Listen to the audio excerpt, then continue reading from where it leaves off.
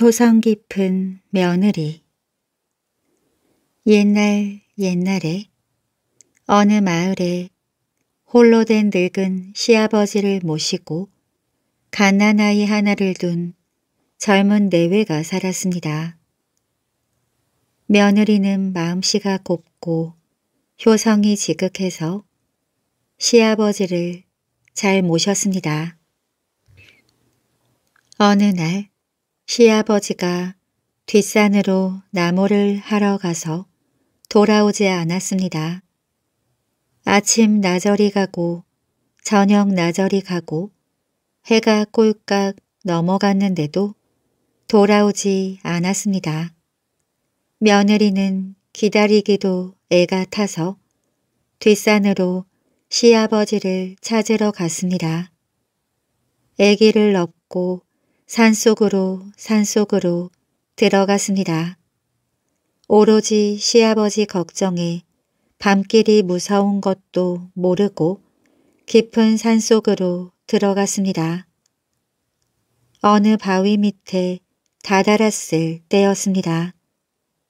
눈에 파란 불을 켠 호랑이가 앉아있고 호랑이 앞에 시아버지가 누워 있는 것이 보였습니다.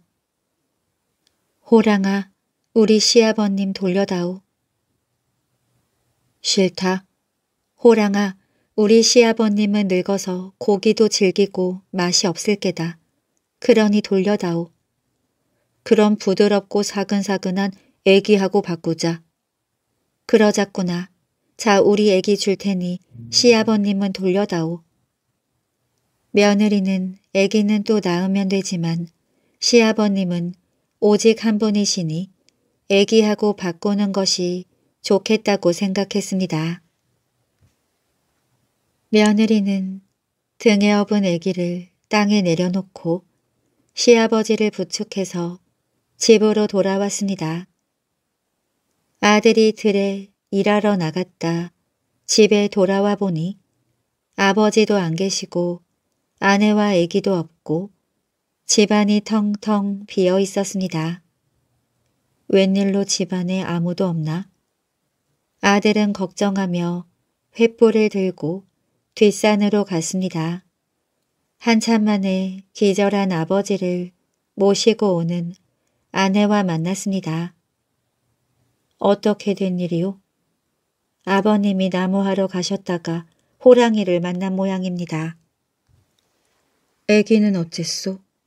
호랑이가 애기하고 아버님하고 바꾸자고 해서 애기를 호랑이한테 주고 아버님을 구출해 오는 길입니다. 아들은 그 자리에서 아내에게 큰 절을 올렸습니다. 당신은 참으로 훌륭한 효부요. 당신도 애기는 또 낳을 수 있지만 아버님은 한 분 아닙니까? 당연히 해야 할 일을 했을 뿐인데 칭찬은요. 당치 않으십니다. 아니요. 그게 어디 쉬운 일이오. 남편은 아내에게 큰 절을 잡고 올렸습니다. 아버지를 집에 모셔다 두고 아들은 호랑이를 찾아서 뒷산으로 갔습니다. 그러나 호랑이도 애기도 찾을 수가 없었지요. 호랑이도 며느리의 행동이 감동스러웠던 모양입니다. 애기를 잡아먹지 않고 등에 태우고 서울로 가서 자식 없는 대감집 문 앞에 내려놓았습니다. 옛날부터 문 앞에 버려진 아이는 자식 삼아 기르는 법입니다. 새벽 일찍 일어나 마당을 쓸고 대문 앞을 쓸던 마당새가 아기를 발견했습니다. 대감마님, 대문 앞에 웬 아기가 있는데쇼? 대감은 하늘이 보내준 아들이라고 좋아하며 그 아기를 아들로 삼았습니다. 아기 없는 집에 아들이 생겼으니 얼마나 귀하게 키울까요? 금이야 오기야 하며 길렀습니다. 이제 이 아기는 산골에 사는 평민이 아니라 대감집 외동 아들인 것입니다.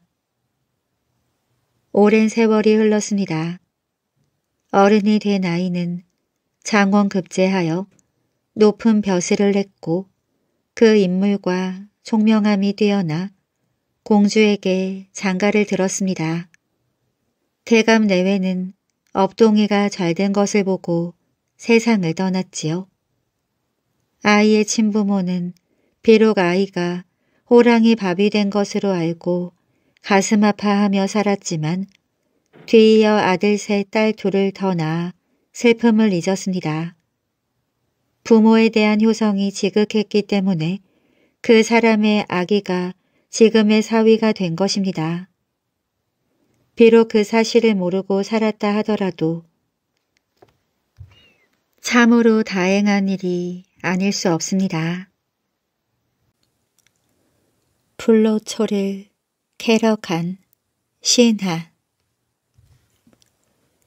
아주 오랜 옛날 중국 진시황은 세상을 모두 자기 소나기에 넣고 권세와 술과 노래 속에 부족함 없이 살면서도 언제고 자신이 죽어야 한다는 일이 원통하였습니다.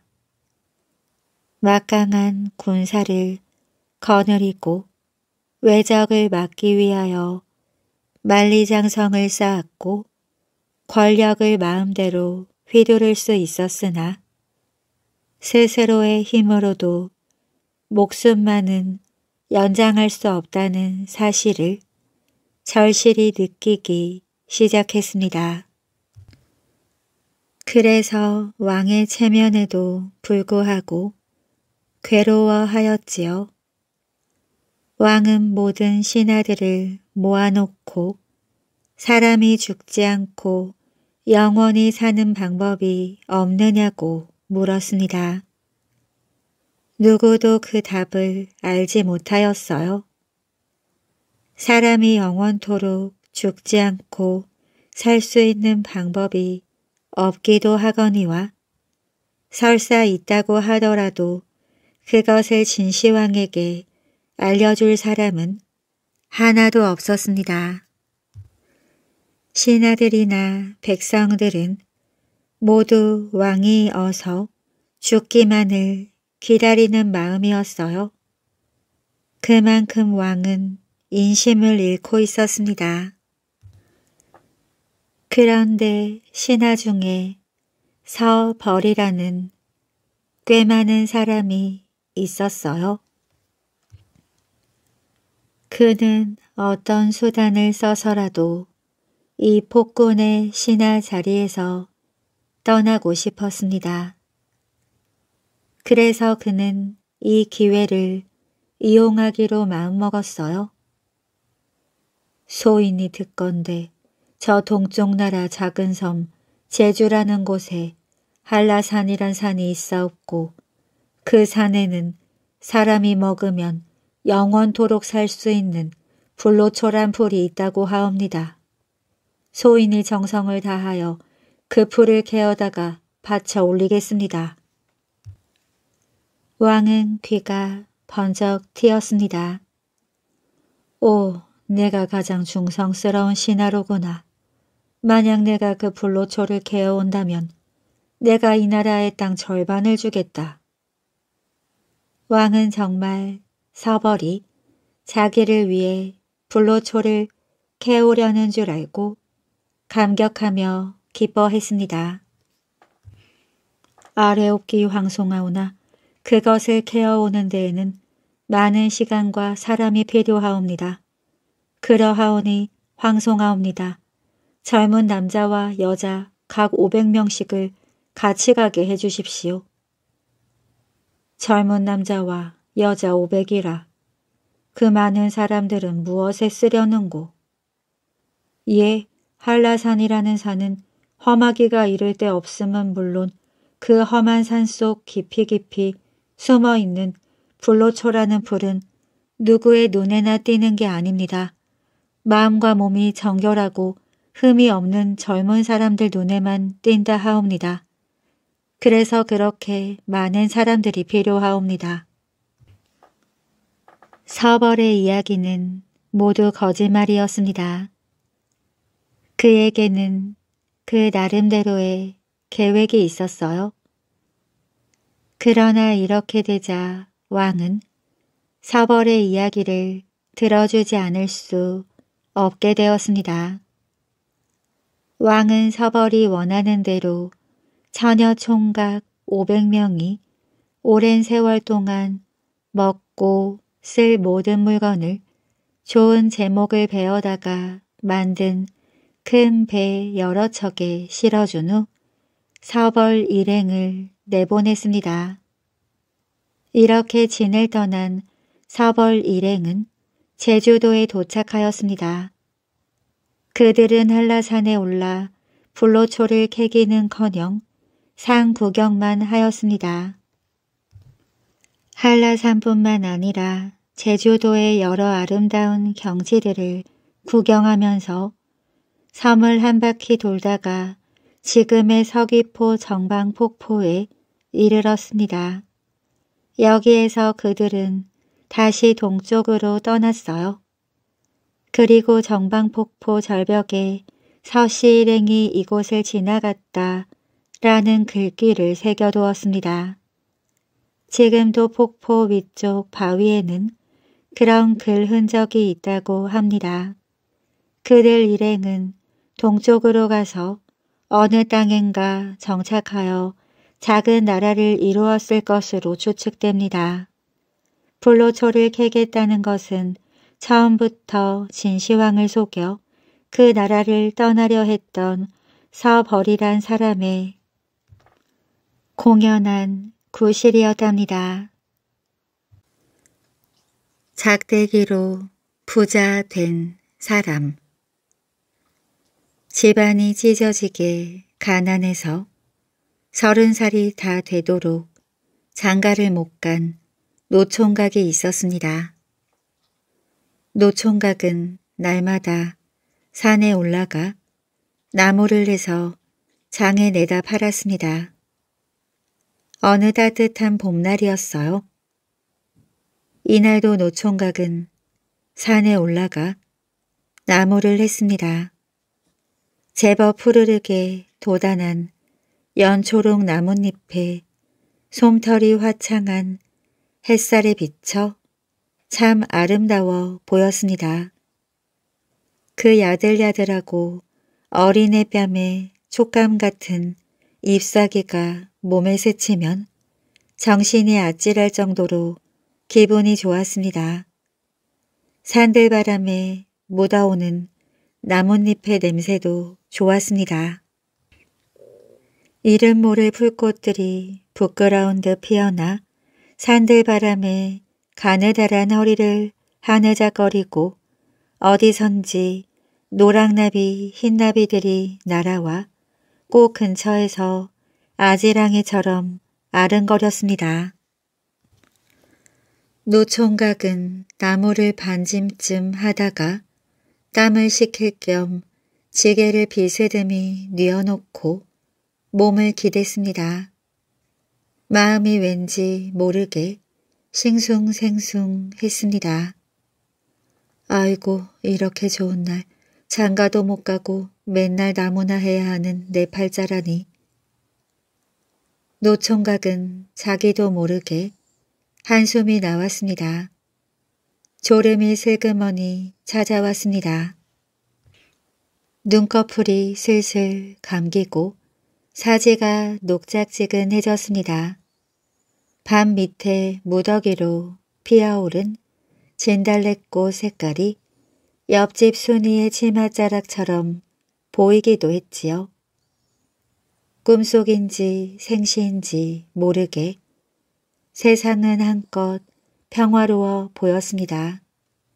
자잘한 다복솔 너머로 여우 한 마리가 왔다 갔다 하더니 제주를 한번 팔짝 넘으면 처녀가 되었다가 또 한번 팔짝 넘으면 여우가 되고 다시 한번 팔짝 넘으면 호호 백발 할머니가 되기도 하는 모습이 보였습니다. 어떻게 생각하면 꿈속 같기도 하고 어떻게 생각하면 진짜 같기도 했습니다. 여우는 힐끔힐끔 사방을 둘러보다가 아무도 없다는 것을 알고 안심한 듯 제주를 팔짝 넘었습니다. 초록 저고리, 빨강 치마를 입은 새댁으로 변했습니다. 새댁으로 변한 여우는 머리에 보따리 하나를 이고 화장 냄새를 솔솔 풍기며 진달래빛 치맛자락을 봄바람에 팔락이면서 오솔길을 따라 산을 내려가는 것이었습니다. 노총각은 눈을 번쩍 떴습니다. 저건 백녀오임에 틀림없다. 저 요망한 것이 누군가의 넋을 빼먹으러 가는 모양이다. 이런 생각이 노총각의 머리를 스쳤습니다. 노총각은 나무찜도 내팽개치고 손바닥에 침을 탁 뱉은 뒤 지게 작대기를 단단히 쥐고 새댁의 뒤를 따라갔습니다. 나무 뒤에 숨기도 하고 바위 뒤에 몸을 숨기기도 하면서 새댁이 눈치채지 못하게 뒤를 밟았습니다. 새댁은 바삐바삐 걸어 제 너머 마을로 갔습니다. 제 너머 마을 꺽다리네 집에서 둘째 딸을 시집 보내는 잔치가 벌어지고 있었습니다. 마당에 하얀 차이를 치고 동네 사람들이랑 친척들이 모여 있었습니다. 한쪽에서는 고기를 굽기도 하고 부침개를 부치기도 하고 떡매로 떡을 치기도 하는 등 음식을 장만하느라 부산스러웠고 방이며 차일 아래는 음식상에 둘러앉은 사람들의 웃음소리랑 떠드는 소리로 왁자지껄 했습니다. 잔치집이 가지고 있는 활기차고 행복에 넘치는 시끄러움이 가득했지요. 아이고 저 아인 새꼴로 시집간 이 집 큰딸이 아니냐? 아낙네들이 보따리를 이고 들어오는 새댁을 가리키며 아른 채를 냈습니다. 내일 혼례식을 치를 신부인 듯한 어여쁜 처녀가 맨발로 뛰어나오며 언니 왜 혼자 오는 거요? 형부는 안 오시고 하며 호들갑을 떨었습니다. 내 형부는 집에 할 일이 좀 있어서 내일 오기로 했다. 아이고 너 시집갈 아이가 맨발로 이게 무슨 흉한 꼴이니? 어서 들어가자. 새댁은 동생의 손을 잡고 방으로 들어갔습니다. 뒤따라온 노총각은 백녀우가 능청 떠는 꼴을 모두 지켜보았지요. 동네 사람들은 낯선 사람인 노총각의 손을 잡아 끌어 상머리에 앉혔습니다. 잔치집에 오셨으니 실컷 소리라도 드십시오. 고맙습니다. 시골 잔치집은 누구에게나 인심이 후했습니다. 상을 대충 치우더니 새로 안주와 술을 내왔습니다. 상기를 잔뜩 긴장하며 걸어온 참이라 그렇지 않아도 목이 말랐습니다. 노총각은 막걸리를 큰 사발로 거푸 석 잔이나 마셨습니다. 당장 트림이 끄 올라오고 슬기운이 몸에 올랐습니다. 푹 꺼졌던 배골도 든든히 차오르고 팔뚝의 근육이 불끈 솟아올랐습니다. 여러 어르신네들 술과 고기 안주와 떡을 주셔서 오랜만에 잘 먹었습니다. 그러니 그냥 갈 수는 없고 제가 오늘 이 신부 댁을 위해 좋은 일을 한 가지 하고 가겠습니다. 그거 좋은 말씀입니다. 그래 떡이라도 한 판 져주고 가시겠습니까? 그런 일이야 이 동네 젊은이들이 다 할 수 있는 일이 아닙니까? 남이 못하는 일을 해드리겠습니다. 그게 무슨 일인데요? 이 지게 작대기를 보십시오. 이건 보통 작대기가 아닙니다. 이 작대기는 사람과 백녀우를 구별할 줄 아는 작대기입니다. 노총각은 지게 작대기를 들어보이며 말했습니다. 예로부터 혼사집에는 신부 예쁜 것을 질투하는 귀신이나 백녀우가 꿰는 법이지요. 혹 이 집에도 백녀우가 둔갑해가지고 와서 신부의 혼을 빼먹을는지 모르잖습니까? 여러분은 내가 하는 대로 구경만 하시기 바랍니다. 노총각은 지게 작대기를 단단히 움켜잡고 아까 새댁이 신부감이랑 들어간 안방으로 가서 문을 벌컥 열었습니다. 신부의 손을 다정히 잡고 언니인 척하면서 신부의 넋을 빼먹을 참이던 새댁이 깜짝 놀라서 물러앉았습니다. 웬 놈이냐? 웬 놈은 웬 놈? 너희 요망스러운 백녀우야 내 손에 죽어봐라. 노총각은 다짜고짜 지게 작대기로 새댁을 때렸습니다. 신분의 집은 발칵 뒤집혔지요. 작대기에 얻어맞은 새댁이 캥 하면서 널브러지는데 세상에 별일도 다 있지요. 그건 이 집 큰딸이 아니라 하얀 백 여우였습니다. 사람들은 꿈을 꾸고 있는 느낌이었어요. 신부감 처녀가 겨우 정신을 수습하고는 노총각에게 큰 절을 올리면서 말했습니다. 저의 목숨을 살려주시는 애 무엇으로 갚아야 하는지요? 비록 내일이 저의 홀린 날이 오나 이미 목숨은 그대의 것이니 그대에게 내 인생을 맡기는 것이 도리일 것 같습니다. 거두어 주십시오. 하고 간청했습니다. 동네 사람들은 대표를 뽑아 이웃 마을의 신랑네 집으로 사람을 보냈습니다. 그리고 자초지종을 설명하고 이 혼사를 없던 걸로 해달라며 양해를 구했어요.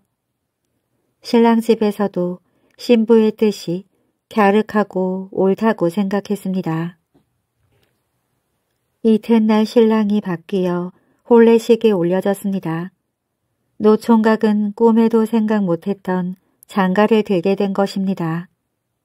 이 소문을 들은 읍내 최부자가 새 신랑을 찾아왔습니다. 소문을 듣자 하니 당신이 가지고 있는 지게 작대기가 영험하다면서요. 당신이 원하는 대로 값을 치를 것이니 그 지게 짝대기를 나한테 파시오. 새 신랑은 아주 높은 값을 불러 그 지게 짝대기를 팔았습니다. 그 후 새 신랑은 그 돈으로 많은 논밭을 사서 행복하게 살았답니다. 효자 연습 어느 마을에 마누라를 잘 때리는 사람이 있었습니다. 동네 사람들이 어째서 마누라를 매일 때리느냐고 물으면 여자는 사흘만 안 때리면 백녀우가 된다고 하면서 여자는 꼬투리가 잡히는 대로 때려야 한다고 주장하는 것이었습니다. 그 사람은 죽을 때도 바보 아들을 불러놓고 여자는 사흘만 안 때리면 백녀우가 된다. 하는 말도 안 되는 유언까지 했습니다. 아버지의 유언을 들은 바보 아들은 아버지의 유언을 따라야 하는 것이라고 믿고 저희 어머니를 틈만 나면 때렸습니다. 어머니는 남편한테 맞고 살아온 것도 억울하기 짝이 없는데 아들한테서까지 맞고 살자니 견딜 수가 없었습니다. 견디다 못한 어머니는 원님에게 찾아가 하소연을 했습니다. 사또 아들놈이 제 아비하던 식으로 나를 때리니 도저히 못 살겠습니다. 그 녀석을 잡아다 단단히 혼을 좀 내주십시오. 원님이 듣고 보니 아들 녀석 하는 짓이 괘씸하기 짝이 없었습니다. 당장 포조를 보내 아들 녀석을 오라를 지어 붙들어 왔습니다. 이놈, 이 불효 막 심한 놈 같으니라고 어머니를 때리다니 전벌을 받을 놈이구나. 원님이 호령호령하면서 꾸짖었습니다. 사또, 제 말씀을 들어주십시오. 우리 아버지께서 돌아가시면서 여자는 사흘만 안 때리면 백여우가 된다고 유언을 했습니다. 아무리 아버지 유언을 따른다고 해도 어머니를 때리다니. 사또, 우리 어머니가 백여우가 되면 어떡합니까? 백여우가 되지 말라고 때렸습니다. 아들의 대답을 들은 원님은 기가 막혔습니다. 저런 멍청이가 있는가 하는 생각이 들었지요. 그리고 멍텅구리 나름대로 효심이 있는 놈이라는 생각도 들었습니다. 어머니께는 효도를 다해서 섬겨야 하는 법이니라. 앞으로 3년 동안 건너마을 효자네 집에 가서 살면서 어떻게 어머니를 모시는지 잘 배우도록 하라. 원님은 효자로 소문난 건너마을 효자네 집으로 바보를 보냈습니다. 바보는 3년 동안 효자네 집에서 머슴을 살면서 어머니 모시는 법을 배웠습니다. 겨울 아침이면 효자는 새벽부터 어머니의 옷을 자기가 입고 있다가 어머니가 자리에서 일어나면 벗어서 입혀드리는 것이었어요. 무명 옷을 아침에 입으면 살갗에 닿는 감촉이 섬뜩섬뜩해서 좋지 않느니라. 그래서 내 몸의 온기로 옷을 따뜻하게 데워서 어머님이 입으실 때 찬기운이 없으라고 그러는 것이다. 효자가 바보에게 가르쳐 주었습니다. 효자가 자기 몸으로 데운 따뜻한 옷을 입혀드리면 어머니는 내 아들 참 효자로다 하며 아들을 칭찬해주고 아주 기분 좋아하는 것이었습니다. 효자는 또 아침 문안을 드리고는 잠자리에 손을 넣어보며 어머님 어젯밤에 춥지는 않으셨습니까? 하고 묻는 것이었습니다. 그러면 어머니는 내 아들 참 효자다. 방이 따뜻해서 아주 잘 잤다. 하고 칭찬해 주었습니다. 무슨 일이 있을 때마다 어머니는 내 아들 참 효자다 라는 말을 입버릇처럼 했습니다. 효자 공부를 3년 동안 한 바보도 어서 집에 가서 나도 저렇게 어머니를 모셔야겠다고 마음먹었습니다. 3년을 다 채우고 바보가 자기 집으로 돌아갔어요. 어머니, 제가 이제 효자 노릇 잘하겠습니다. 이것 좀 잡수십시오. 바보 아들은 세경을 받은 돈으로 인절미를 사가지고 와서 어머니에게 드렸습니다. 매일 자기를 때리던 아들이 돌아온다고 하니 원님에게 고해 바쳤다고 해서 더 때리지 않을까 몹시 걱정하고 있던 어머니였습니다.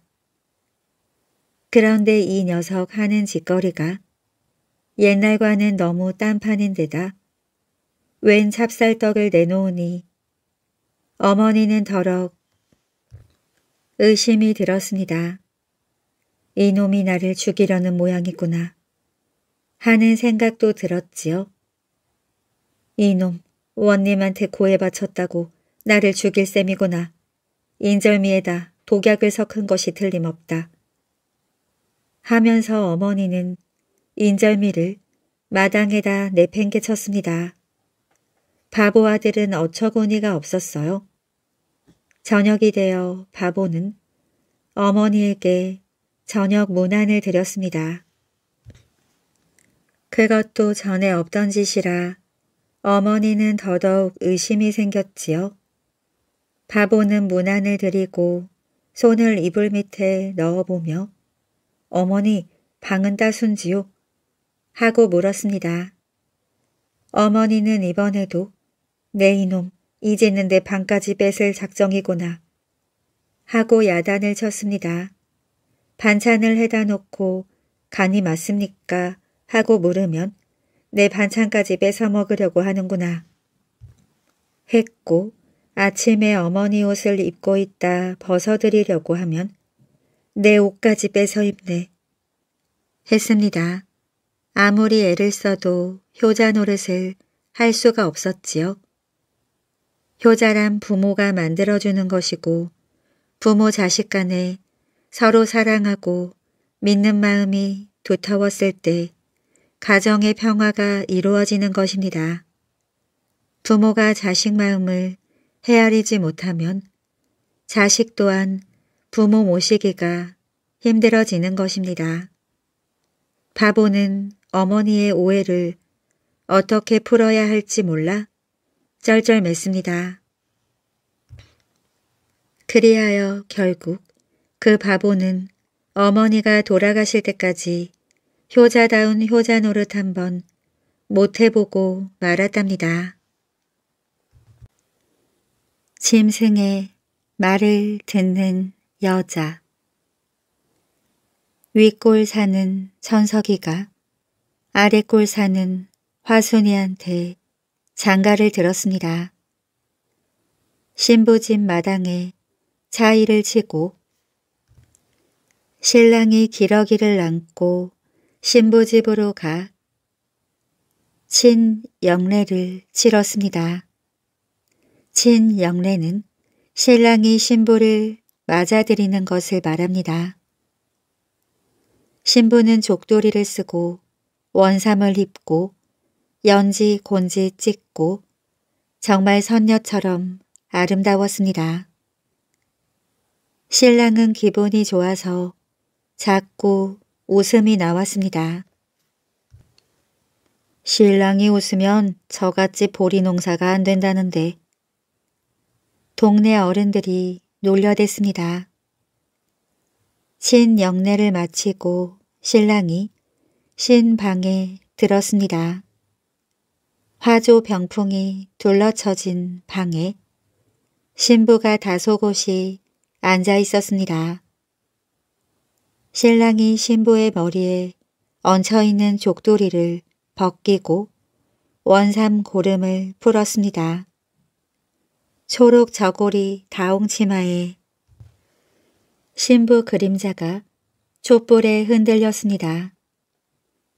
신부가 눈을 칩떠 보아서는 안 된다고 해서 눈에 꿀을 발랐습니다. 웃어서도 안 된다고 해서 입에 대추를 몰렸습니다. 그렇게 신부는 그린 듯이 조각인 듯이 있어야 하는 게 법도였지요. 신랑이 신부의 저고리 고름을 풀려고 하는데 신부가 배시시 웃었습니다. 배시시 웃다가 입에 물고 있던 대추를 방바닥에 떨어뜨렸어요. 신랑은 그만 기분이 상했습니다. 첫날 밤에 신부가 웃다니요. 필시 제대로 배우지 못한 모양이었습니다. 도대체 이렇게 못 배운 사람과 어떻게 일생을 같이 산단 말인가 하고 생각하며 신랑은 벌떡 자리를 차고 일어나 자기네 집으로 돌아가고 말았습니다. 말하자면 신부가 전날 밤에 소박을 맞은 것입니다. 신랑의 아버지가 몇 달 후 사돈네 집을 찾아왔습니다. 소박 맞은 며느리가 어떻게 지내고 있는지 궁금하기도 하거니와 아들의 말대로 정말 행실이 배운 데 없이 구는지 알아볼 겸 해서 찾아간 것입니다. 자기 딸이 어떤 일로 해서 소박 맞은 것인지 영문을 모르고 있던 신부의 아버지는 사돈이 찾아오자 반가워서 어쩔 줄을 몰랐습니다. 사랑의 술상을 차려놓고 두 사돈 영감이 마주 앉아서 술잔을 건넸습니다. 마침 신부 화손이가 술병을 내오는데 마당의 감나무에 까마귀가 앉아서 울고 있었습니다. 화순아, 저 까마귀가 뭐라고 하냐? 아버지는 딸에게 진지한 얼굴로 물었습니다. 신랑 천석이의 아버지는 부녀간에 무슨 말인가 싶어 어리둥절해 있었습니다. 신부의 아버지가 눈치를 채고 이렇게 설명하는 것이었습니다. 사돈어른, 저 아이가 짐승이 하는 말을 알아듣는 재주를 가졌답니다. 그래서 저 까마귀가 뭐라고 말하는 것인지를 물어본 것입니다. 오, 그래요. 참 희한한 재주도 다 가졌구나. 그래 까마귀가 지금 뭐라고 말하더냐. 신랑의 아버지도 궁금증이 생겨서 물었습니다. 네 아버님, 저 까마귀가 하는 말이 금년 여름에는 난데없는 서리가 내리겠다고 합니다. 그러니 아버님, 전답을 팔아서 곡식을 사두는 것이 좋을 것 같습니다. 아니 왜 전답을 팔아야 한단 말이냐. 그리고 또 왜 하필이면 곡식을 사두어야 한단 말이냐. 여름에 서리가 내리면 곡식이 다 죽을 게 아닙니까? 그러면 분명 내년 봄에는 식량이 부족해서 난리가 나겠지요. 그때 식량을 풀어서 전답을 다시 산다면 곡식값은 오르고 전답값은 헐값일 테니 큰 장사가 되지 않겠습니까? 그래, 그럴 법한 말이다. 신랑 천석이의 아버지는 집으로 돌아와 전답을 모두 팔았습니다. 아무래도 정신이 이상해지신 모양이다. 사돈집에 갔다 오시더니 난데없이 전답을 다 팔아치우게. 집안 식구들은 불만이 많았지만 어른이 하는 일이라 따를 수밖에 없었습니다. 천석이의 아버지는 전답을 몽땅 판 후 곡식을 사서 곡간에 쌓아두었어요. 장마가 개고 불볕이 쏟아지는 여름이 왔습니다. 들판의 곡식들은 하루가 다르게 자라올랐어요. 초복이 지나고 중복이 가까워 오던 어느 날 느닷없이 콩알 만한 우박이 쏟아져 곡식들을 쓰러뜨리더니 그날 밤에는 또 세상이 하얗게 서리가 내렸습니다. 그렇게 우박과 서리가 내리기를 보름쯤 계속했어요. 곡식은 모두 삶아 데친 것처럼 시들시들해지더니 죽고 말았습니다. 너나 없이 농사를 모두 망쳤으니 흉년이 들어도 보통 흉년이 든 게 아닙니다. 식량이 떨어지자 먹을 것이 없어 난리가 났습니다. 사람들은 소나무 껍질을 벗겨 먹거나 쌀 겨나 깻목을 먹기도 하고 칡뿌리를 캐다 먹기도 했습니다.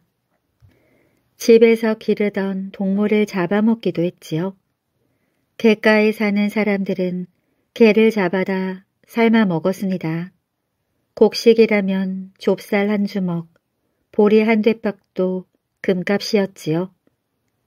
천석이 아버지는 곡식을 풀어 전답을 사들이기 시작했습니다. 쌀 한 마리면 논 한 마지개를 사기도 하고 밭두 마지개를 사기도 했습니다. 그렇게 헐값에 굴러다니는 논밭을 마구 사들였지요. 개오리들도 다 사들이고 범바위들도 다 사들이고 삼배들도 다 사들였습니다. 아들 이름처럼 천석곤이 될 만큼 전답을 사모았습니다. 큰 부자가 된 것입니다. 새 며느리의 말을 따라서 큰 부자가 된 아버지는 천석이를 불러다 놓고 우리가 이렇게 부자가 된 것은 다 내 아내의 말을 따른 덕이다. 그러니 내 아내를 데려오도록 해라. 천석이는 하는 수 없이 아래 골로 가서 신부 화순이를 집으로 데려오게 되었습니다. 둘이서 고갯마루를 넘어 윗골로 오는 길에 신부가 신랑에게 물었습니다. 전날 밤에 아무 말도 없이 저를 버리고 가버렸던 이유가 뭡니까? 전날 밤에 신부가 배시시 웃었기 때문이요. 신부가 웃다니 법도에 어긋나는 일 아닌가요? 그때야 신부는 그날 밤의 일이 생각났습니다. 그러고 생각하니 또 자꾸 웃음이 나왔어요. 신랑 천석이는 또 화가 났습니다. 이것 보시오. 아무리 보는 사람이 없는 산길이기로쏘니 새댁이 그렇게 큰 소리로 웃다니 당신은 참 어쩔 수 없는 사람이구려. 아니 그런 게 아니라 전날 밤에 쥐가 하는 말을 듣고 웃었던 것인데. 그러면서 화순이는 전날 밤에 있었던 일을 이야기했습니다. 신랑이 막 신부의 저고리 고름을 불려고 할 때 부엌에서 쥐들이 소곤거리는 소리가 들려왔습니다. 형님, 부뚜막위 냄비에 돼지고기가 있는데 뚜껑이 덮여 있어서 꺼낼 수가 없습니다. 하고 아우지가 형쥐에게 말했습니다. 형쥐가 아우지의 머리를 쥐어 박으며 이 바보야 머리를 써라 머리를 써 부뚜막을 이로 갉아서 허물면 냄비가 자빠질 거 아니냐? 그러면 뚜껑이 열릴 것이다. 쥐가 하는 말이 하도 어처구니 없어서 신부는 그만 배시시 웃음이 나왔던 것입니다. 신부 화순이의 말을 듣고 신랑 천석이도 웃음이 나왔습니다. 두 내외의 웃음소리가 산속에 울려 퍼져 메아리 가 지고 웃음소리에 놀란 산새들이 푸르르 날아올랐습니다. 날아오르면서 지지배배 꼬르릉 베베쫑하고 울어댔지요. 여보, 저 새들이 뭐라고 하는 거요? 천석이는 신부의 손을 잡으며 물었습니다. 아들 다섯, 딸 다섯, 열만 낳아라 그러는데요. 신부와 순이는 얼굴을 붉히며 말했답니다. 개 무덤 아주 오랜 옛날 어느 마을에 사는 어떤 노인이 개를 한 마리 길렀습니다. 그 노인이 젊었을 때부터 기른 이 개는 주인의 말을 어떻게나 잘 들었던지 누구보다도 더 주인을 따랐습니다. 늘 주인을 따라다녔고 주인의 자잘한 심부름까지도 능히 해낼 정도였지요. 어느 해 노인이 병들어 눕게 되었습니다. 개는 노인이 누워있는 방 앞에 다리를 구부리고 앉아서 떠날 줄을 몰랐어요. 노인이 음식을 먹지 않자 개도 먹이를 먹지 않았습니다.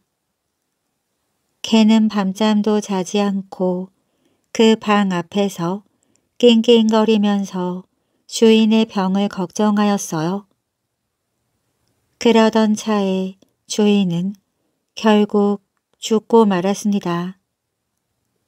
그 개는 주인의 죽음을 알고는 그 여인 몸으로 밖으로 달아나 버렸습니다. 사람들은 개도 주인이 세상을 뜨자 집을 떠나는구나 하고 생각하였습니다. 집안에서는 노인의 장례 준비로 사람들이 들끓었습니다. 그런데 노인을 묻을 장소가 정해지지 않아 걱정들이었어요. 외자리를 보는 사람을 데리고 이곳저곳 쏘다녀봐도 적당한 곳이 나오질 않았습니다. 그래서 장례일자도 정하지 못한 채 상주는 걱정만 하고 있었어요. 그러던 어느 날이었습니다. 노인이 죽자마자 집을 뛰쳐나갔던 그 개가 아주 여위어서 돌아왔습니다. 그의 몸은 온통 흙투성이가 되어 있었습니다. 돌아온 개는 상주의 상복을 물고 잡아당기는 것이었어요.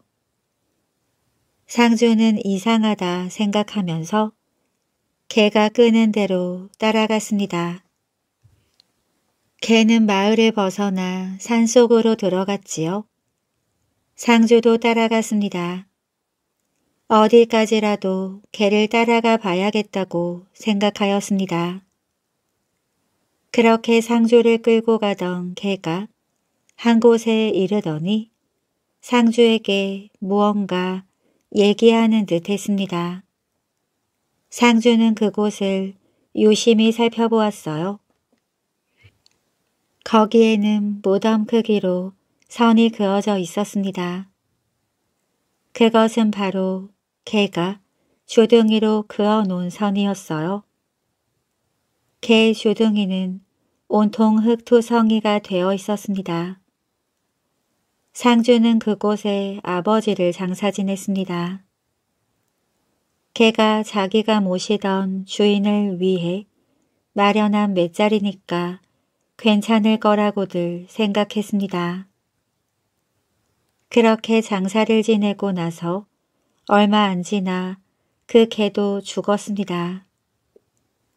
그런데 그 개는 죽기 얼마 전에 집을 나가서는 그 노인의 무덤 곁에 가서 죽었기 때문에 무덤을 그 노인 옆에 만들어 주었습니다. 그 후그 그 집안은 상당히 번창하였는데 사람들은 그 의로운 개가 명당을 찾아냈기 때문일 거라고 전하고 있답니다. 해적을 못지른 사람 아주 오랜 옛날 어느 마을에서 있었던 일입니다. 밤이 되면 이상한 일이 일어난다고 사람들이 수근거리기 시작했어요. 얼마 전에 한 시성을 가진 노인이 죽어서 동네 어귀에 묻었었는데 밤이 되면 그곳에서 이상한 소리가 난다는 것입니다. 병정들이 훈련하는 소리도 들리고 말 달리는 소리에 장군이 호령하는 소리도 들린다는 것이었습니다. 마을 사람들은 너도 나도 모두 그 소리를 들었다고 했습니다. 그래서 모여서 의논하기를 젊고 건장한 사람 며칠 뽑아서 그 무덤을 지켜보자고 했어요. 그날 밤에도 소문대로 군사들이 훈련하고 장군이 호령하는 소리를 들었습니다. 그래서 마을 사람들이 모여서 그 무덤을 어떻게 처리하느냐는 문제로 다시 의논하였습니다. 그러나 신통한 방법이 떠오르질 않았어요. 결국 동네 사람들이 무덤에 모여 제사를 지내기로 하였습니다. 며칠 후에 제모를 차리고 재관을 정하여서 제사를 올렸습니다. 마을이 시끄럽고 사람들이 무서워 당분간만 그 훈련을 쉬어달라는 내용의 글을 올리면서 제사를 드렸습니다. 그러자 어쩐 일인지 그 제사를 지낸 후부터 밤이 되어도 그런 일은 생기지 않았습니다. 그런데 몇 해 후였어요. 그 한씨 집안에서 한 사내 아이가 태어났는데 그 생김새가 보통 아이와는 유달라서 사람들이 수근거렸습니다. 귀가 길쭉하고 눈은 꼭 호랑이 눈 같은 데다 머리도 크며 머리카락은 곱슬곱슬 하였습니다. 더구나 보통 아이보다 몸이 한 서너 배나 컸습니다. 아이는 빨리 자랐고 하는 짓도 아주 유달랐어요. 나서 얼마 안 되어서 이가 모두 나더니 어머니 젖음 먹지도 않고 밥을 먹기 시작했습니다. 그것도 어른이 먹는 양만큼 먹었어요. 아이는 정말 빨리 자랐습니다. 어느 날 밭에서 돌아오던 그 아이 어머니는 방 안에서 나는 이상한 소리에 가슴이 철렁 내려앉았습니다. 그럴 만한 이유도 없는데 왠지 가슴이 두근거렸습니다. 그래서 몰래 방문 구멍으로 안을 들여다보았습니다. 그런데 방 안에서는 이상한 일이 벌어지고 있었어요. 아이놈이 그 큰 몸으로 천장에 바싹 붙어 있었습니다. 그러다가 부드덕하며 방바닥으로 내려앉는 것입니다. 그리고 다시 천장으로 오르고 날개로 나는 연습을 하고 있었던 겁니다. 어머니는 너무나 놀란 나머지 그 자리에 풀썩 주저앉고 말았어요. 아이가 유달라 은근히 걱정을 하고는 있었지만 그 아이 겨드랑이에 날개가 돋아 있을 줄은 꿈에도 생각하지 못했습니다. 그날 저녁 어머니는 이 사실을 아이 아버지에게 알리고 어떻게 할 것인가 의논하였습니다. 날개 돋은 아이가 나면 그 즉시 죽이거나 아니면 관가에 알리지 않으면 집안이 역적으로 몰려 죽게 되었습니다. 그렇다고 자식을 죽일 수도 없고 관가에 알릴 수도 없는 일이었지요. 생각다 못하여 아이의 날개를 없애버리기로 하였습니다. 그날 밤 아이가 깊은 잠에 빠져 있을 때였어요. 그들 부부는 숟가락을 벌겋게 달구어서 자는 아이의 겨드랑이에 날개를 태워 없애버렸습니다. 아이는 호닥닥 일어나서는 방 안을 뺑뺑 돌면서 못 견뎌 하다가 다시 조용히 잠이 들었습니다. 다음 날부터 아이는 아주 조용해졌어요. 그리고 잠자는 시간이 많아졌습니다. 다행히 아이는 아무 탈 없이 잘 자랐습니다. 차차 자라면서 힘이 무척이나 세졌지요. 그와 상대할 사람이 아무도 없었습니다. 그는 배를 한 척 마련하여 육지로 장사를 다니기 시작했습니다. 그때에는 바다에 해적이 많았어요. 특히 일본인들이 도둑으로 들끓었습니다. 장사를 다니다가 해적을 만나서 목숨을 잃거나 재산을 모두 날려버린 사람들이 많았습니다. 어느 해 가을이었어요. 그 한씨가 장사를 다니기 시작한 지 1년도 채 못된 때였습니다. 그는 육지에서 쌀을 한 배 싣고 오다가 도둑을 만났습니다. 그 배 좀 세워라. 도둑들은 무턱대고 호령을 하면서 다가왔습니다. 한 씨는 배를 세웠어요. 무엇을 싣고 오느냐? 쌀을 싣고 온다. 한 씨는 그들이 도둑인 줄 알면서도 퉁명스럽게 대답했습니다. 같이 배를 탄 사공들은 벌써부터 낯빛이 파래져서 발발 떨고 있었지요. 그 쌀가마니를 우리 배에 실어라. 한씨는 속으로 웃었습니다. 그리고 다음에는 화가 치밀었어요. 해적들의 소행이 괘씸하다는 말은 들었지만 당하고 보니 어이없는 논들이었습니다. 왜 빨리 안 씻느냐? 예, 곧 옮겨 씻겠습니다. 한씨는 배를 그 도둑들의 배에 더 가깝게 바싹대어 쌀 가마니들을 옮겨 실으려 하였습니다. 도둑들은 이제야 이놈이 알아듣는구나 하면서 멀거니 그들을 보고만 있었지요. 그때였어요. 휙하니 쌀 가마니가 도둑의 머리에 떨어졌습니다. 도둑이 비틀거리는데 다시 한 가마니가 가슴팍을 쳤지요. 도둑은 쓰러졌습니다. 그와 거의 같은 시간이었어요. 쌀 가마니들이 마치 돌멩이가 날아오듯 도둑들에게 날아왔습니다. 도둑들이 정신을 못 차리고 비틀거릴 때였어요. 한 씨는 그 도둑들이 타고 있는 배의 한 귀퉁이를 붙잡고 흔들기 시작했습니다. 배가 험한 파도에 흔들리듯 정신없이 요동을 쳤지요.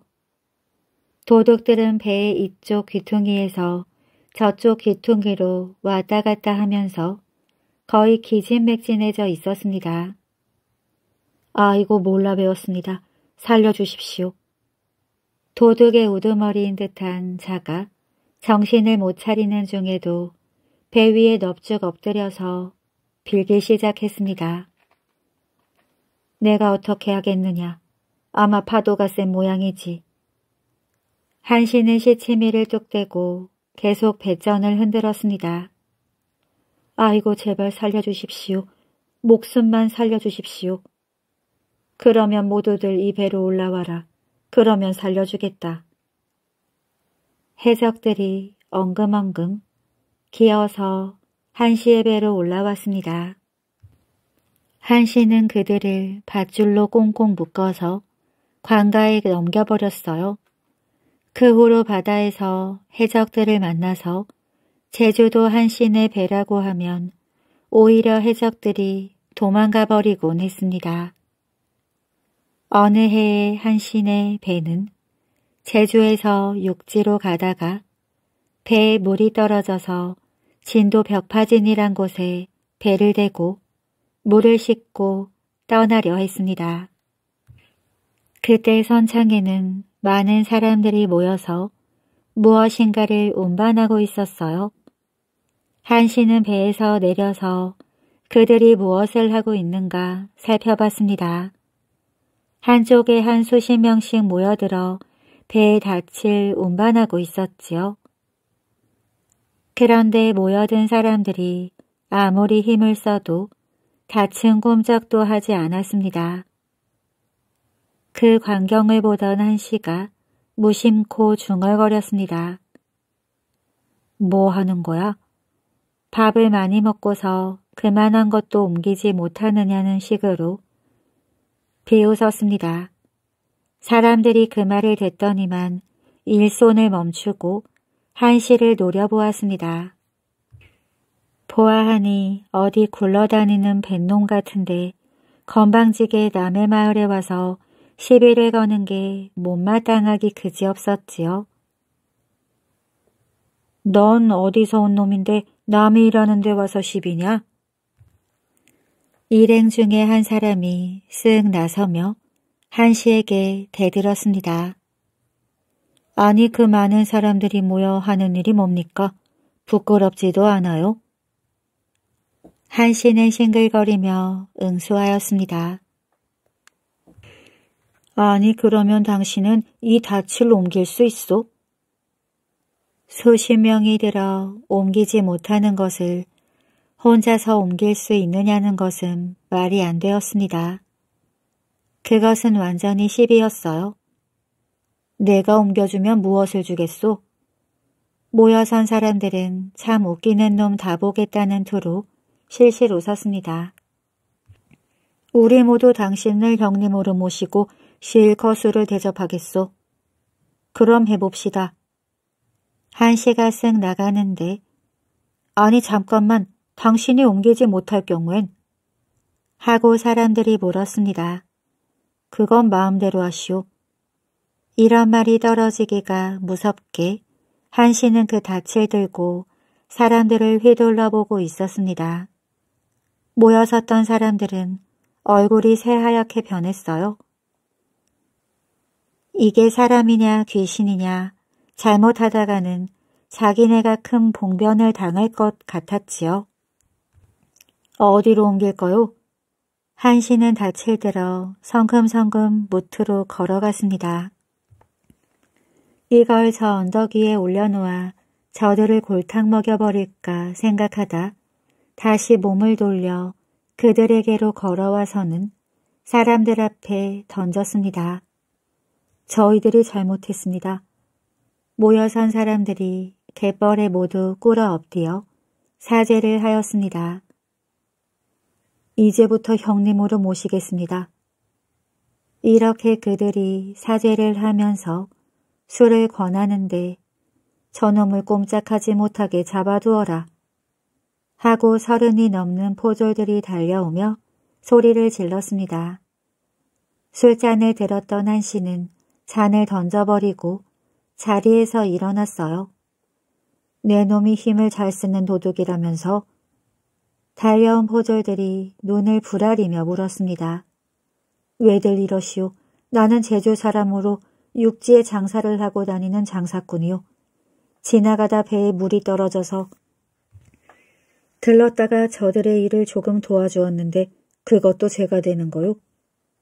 한 씨는 그들에게 자기의 처지를 설명하였으나 그들이 들어주질 않았습니다. 그래서 할 수 없이 관가에 붙들려 서울로 압송을 당했지요. 서울에 가서 조사를 받은 결과 모든 게 사실로 드러나자 그는 풀려났습니다.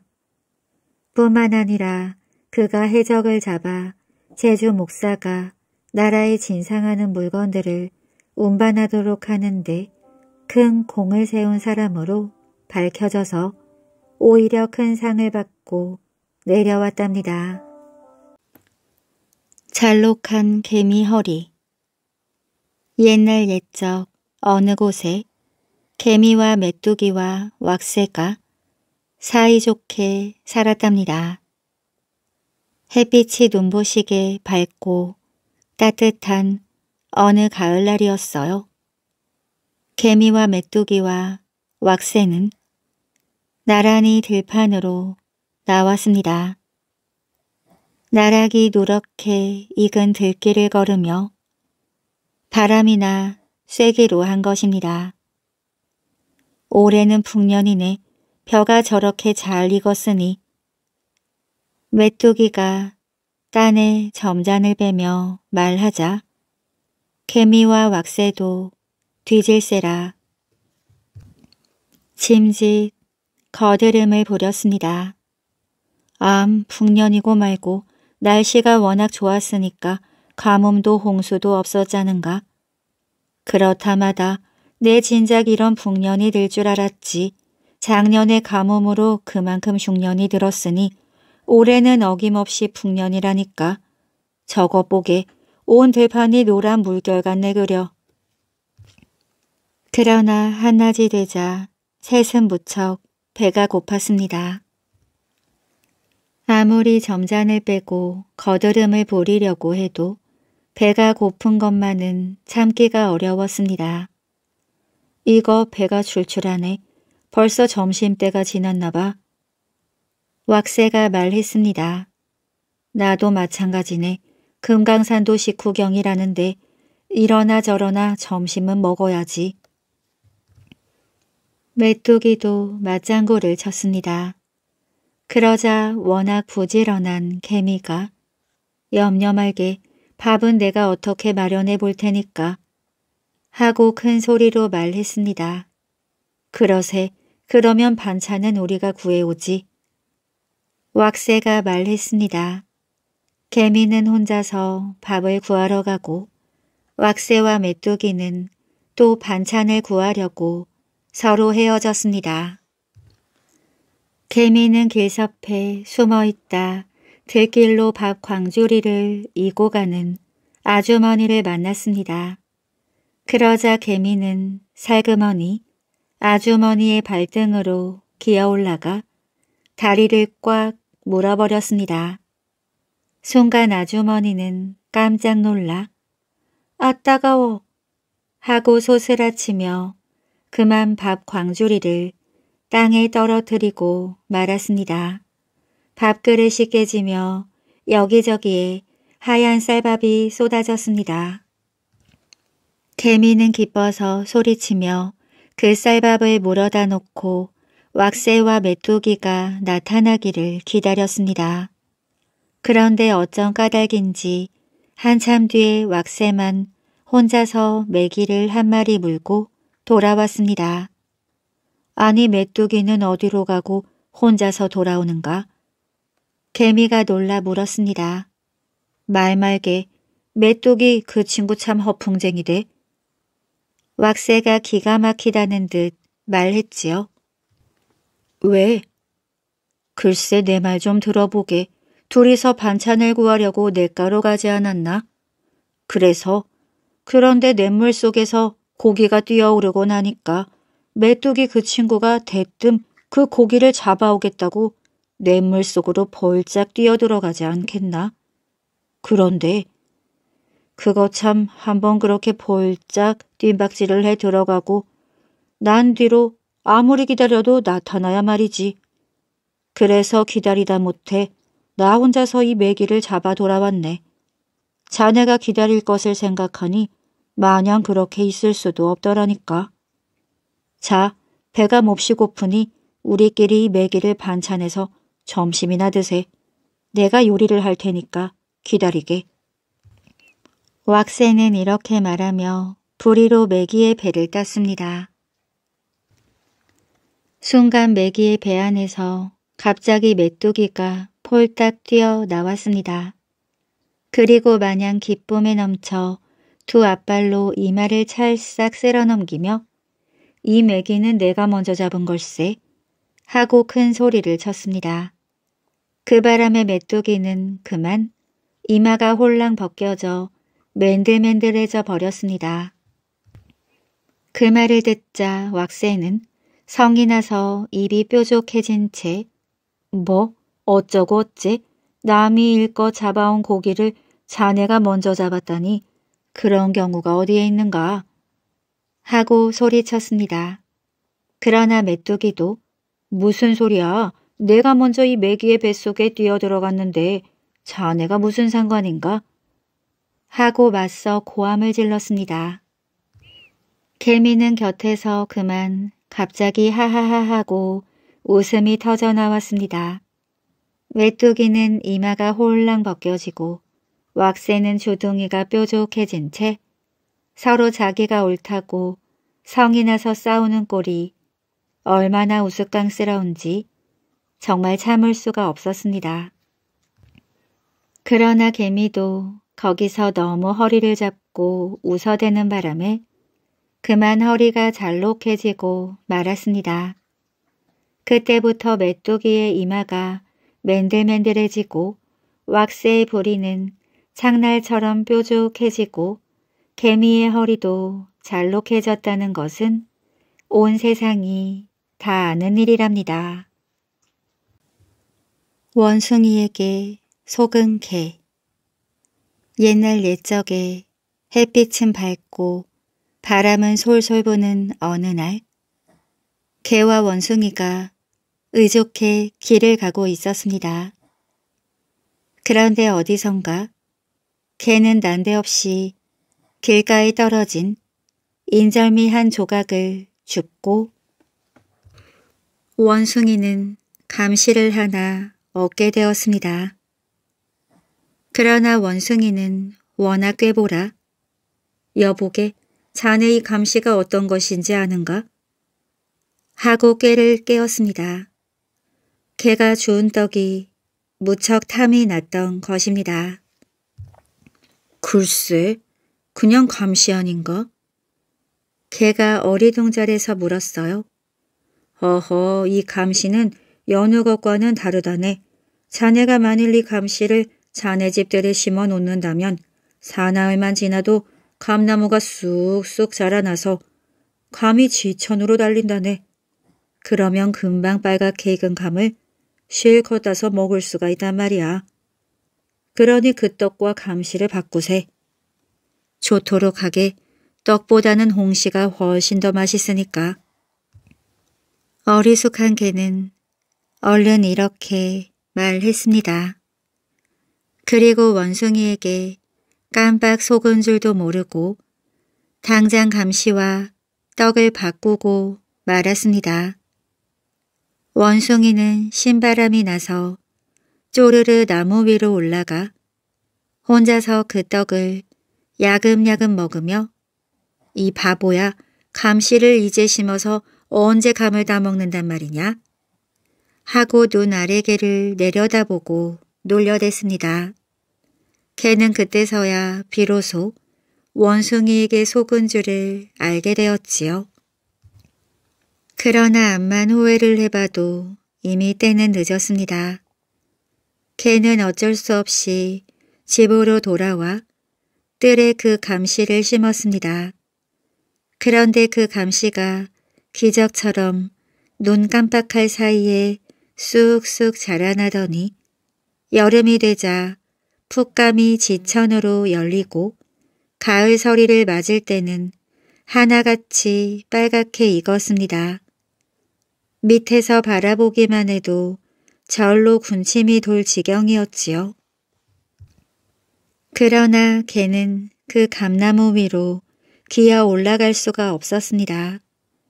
물론 그 빨간 감들을 하나 둘 따먹고 싶은 심정은 간절했으나 나무가 워낙 높이 자라서 도저히 그곳까지 다가갈 수가 없었습니다. 개는 안타까워 아, 내감 하고 발을 동동 굴렀습니다. 그런데 그때 원숭이가 나타나 어허 여보게 자네는 아무 염려 말게 내가 저 홍시를 다 따줄 테니까 말일세. 하고 너스레를 쳤습니다. 그러더니 원숭이는 당장에 감나무 위로 올라가 잘 익은 홍시를 하나 둘 골라 따서는 혼자서만 냠냠거리며 먹었습니다. 여보게 자네만 그러지 말고 어서 내게도 홍시를 좀 따주게. 개는 안타까워 안절부절 이렇게 소리쳤습니다. 그러나 원숭이는 눈도 깜짝하지 않았습니다. 그러거나 말거나 여전히 저 혼자서 따먹을 줄밖에 몰랐지요. 개는 화가 나서 발을 동동 구르며 내 홍시를 왜 자네만 자꾸 먹는가? 어서 내게도 한 개 따주지 못해?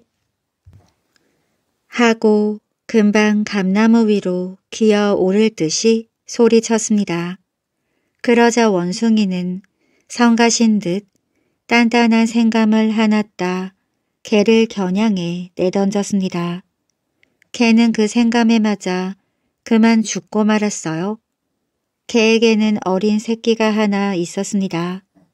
어미개 옆에서 모든 것을 지켜보고 있던 새끼 개는 앙앙하고 죽은 어미개를 부둥켜 안고 슬피 울었습니다. 그런데 그때 어디선가 갑자기 절구통이 하나 나타나 왜 그렇게 슬피 우니? 하고 물었습니다.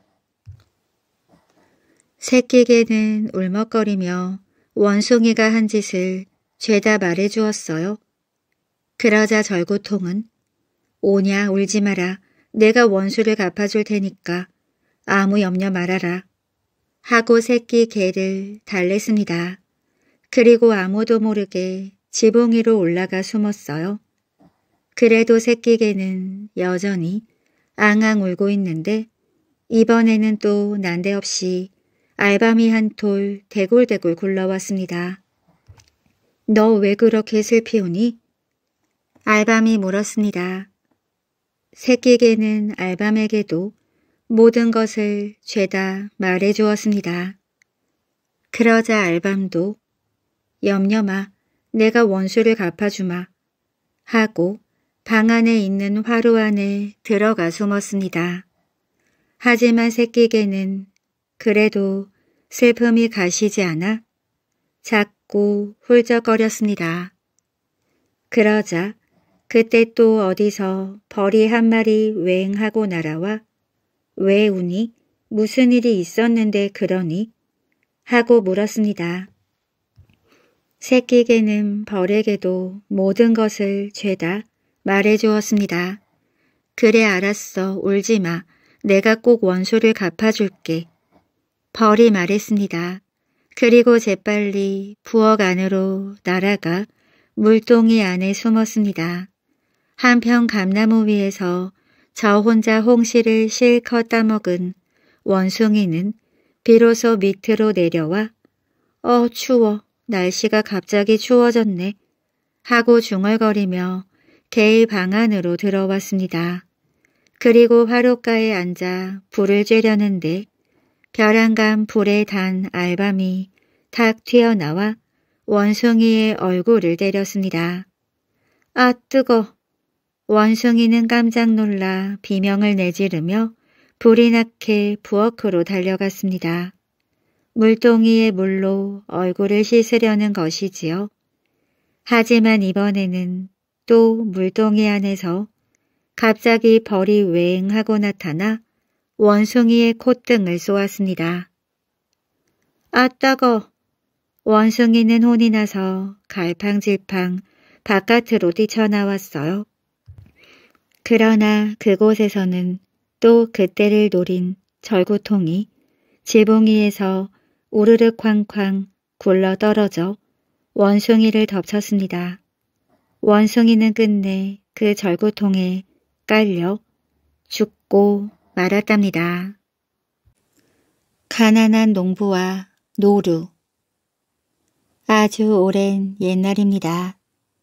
어떤 가난한 농부가 고향에서 살기가 어려워 아무도 살지 않는 허허 벌판을 찾아가 살림을 시작했습니다. 황무지를 갈아서 심은 메밀을 추수할 때였어요. 넓은 들판에 메밀을 베어놓고 그것을 타작하는데 노루 한 마리가 허겁지겁 달려왔습니다. 잡으면 맛있게 먹을 수 있는 노루였어요. 메밀 타작하는 도리깨로 확 휘둘러 잡아버릴까 하다가 노루의 가느스름한 눈이 하도 애처로워서 그냥 놔두었지요.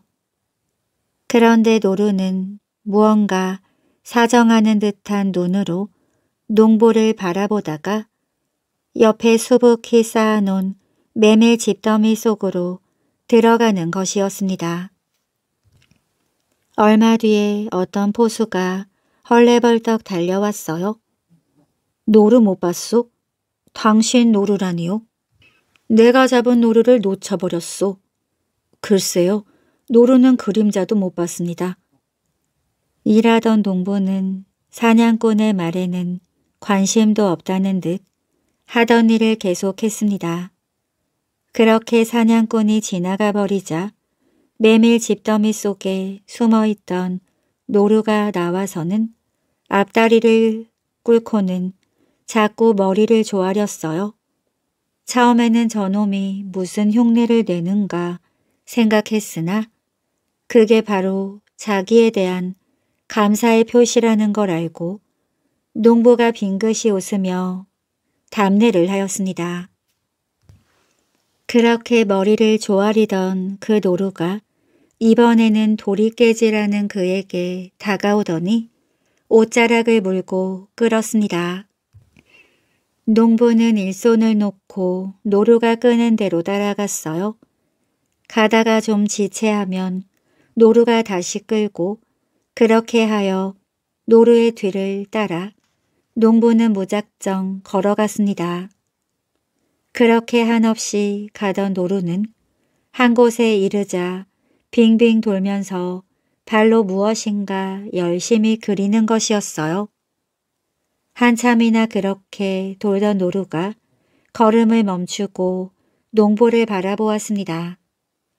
농부는 노루가 그려놓은 것을 가만히 살펴보았어요. 그것은 바로 집 모양의 그림이었습니다. 농부는 그 순간 무언가 깨달을 수 있었습니다. 아, 이곳에 집을 지으라는 뜻이구나. 노루는 다시 몇 번 고개를 주걱거리고는 멀리 가버렸습니다. 농부는 살림을 모두 갖고 노루가 가르쳐 준 곳으로 가서 집을 짓고 살았습니다. 그 후 농부는 신기하게도 하는 일마다 모두 잘 되었어요. 가난했던 농부는 얼마 후에 아주 부자가 되었습니다. 노루가 정해준 곳이 바로 명당이었던 것이랍니다. 소를 진상하는 일 옛날에 가령 양장이라는 선비가 있었습니다. 그는 제주도 가령 마을 사람으로 그래도 능하였을 뿐 아니라 기지도 뛰어났습니다. 그는 서울 출입을 자주 하였는데 서울 사람들에게서 섬 사람이라고 모욕을 당할 때마다 반드시 보복을 하곤 하였습니다. 그는 성균관에서 글 공부를 하였는데 글로나 말로나 여러 서울 선비들을 앞질렀기 때문에 서울 선비들에게는 그가 안 잊고 온 존재였어요.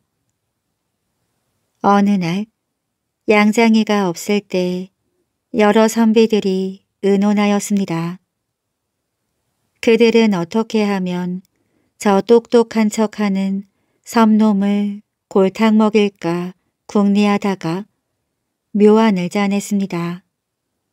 그들은 양장이가 늘 앉는 자리에 마루를 떼어내고 그 위에 방석만 덮어두어 그를 마루 밑으로 떨어지게 하려고 하였어요. 밖에 나갔던 양장이는 아무것도 모르고 들어와서는 늘 자기가 앉던 자리에 털썩 앉았습니다. 그러자 풀썩하니 자리에서 빠져 마루 밑으로 떨어져 버렸습니다. 모여 앉아 그 광경을 보던 여러 선비들이 배꼽을 쥐고 웃어댔습니다. 그때였어요. 제 아버지를 장사 지내면서 상제들은 울지도 않고 웃기만 하는 거냐? 마루 밑으로 빠진 그는 웃는 여러 선비를 향해 크게 꾸짖었습니다. 선비들은 웃음을 그치고 갑자기 조용해졌어요. 너희 놈들은 명색이 선비들이라고 하면서 돌아가신 부친을 묻는 예의도 모르느냐? 서울 놈들은 다 그렇게 예의범절에 어두우냐? 어리둥절하고 있는 선비들을 향해 그는 다시 꾸짖었습니다. 아니 내가 이렇게 너희들이 만들어 놓은 무덤에 묻히게 되었으니 너희들은 상제로서 마땅히 곡을 하여야 할 게 아니냐? 너희들은 다 내 아들인 것이야. 그제야 선비들은 그의 말뜻을 알아들을 수 있었습니다. 양장이를 골려주려 했던 그들이 모두 양장이의 아들이 되어버렸다는 사실에 선비들은 아연실색하고 말았습니다. 이놈들아 어서 곡소리를 내어라. 마루 구덩이에서 다시 양장이는 큰 소리로 선비들을 꾸짖었습니다. 선비들은 더 할 말이 없었어요. 결국 놀려주려던 그들은 모두 양장이의 아들이 되고 말았습니다. 양장이가 어느 해에 서울에 갔다 돌아오다가 전라 가명에서 제주에서 올라온 어떤 사람을 만났습니다. 고향 사람이라 반가운 김에 서로 인사를 나누고 이 이야기 저 이야기 나누던 중에 양장이는 그의 사정을 자세히 알게 되었습니다. 그때에는 나라에 물건을 진상하는 일이 어려웠어요. 제주도에서는 소나 말을 전라 가명을 통해서 서울로 진상했습니다. 진상 물품을 모으는 일도 그랬지만 물건을 바치는 일은 더욱 어려웠습니다. 그는 바로 검은 소를 상감에게 진상하러 온 사람이었습니다. 며칠 전에 왔으면서도 진상이 잘 안 되어 지금껏 돌아가지도 못하고 노자는 다 떨어져서 사정이 어렵게 되었다고 했습니다. 왜 진상이 잘 안 된다는 거요? 얘기를 듣고 양장이가 그 연유를 묻자 무슨 큰 이유도 없는데 내일 오라 내일 오라 하면서 받아주질 않으니 해볼 도리가 없습니다. 돈이라도 있으면 좀 갖다 줄 텐데 이제 노잣돈도 없으니 소라도 팔아먹고 죽든지 살든지 할 수밖에 없습니다. 하고 한탄하였지요. 듣고 보니 딱했습니다. 양장이도 진상하는 데 따른 관리들의 횡포를 약간은 들어 알고 있었지만 듣고 보니 작은 일이 아니었습니다. 생각하니 화가 났어요. 어떻게 하면 진상도 원만하게 하고 그 감사까지 골탕을 먹일 수 있을까 생각하였습니다.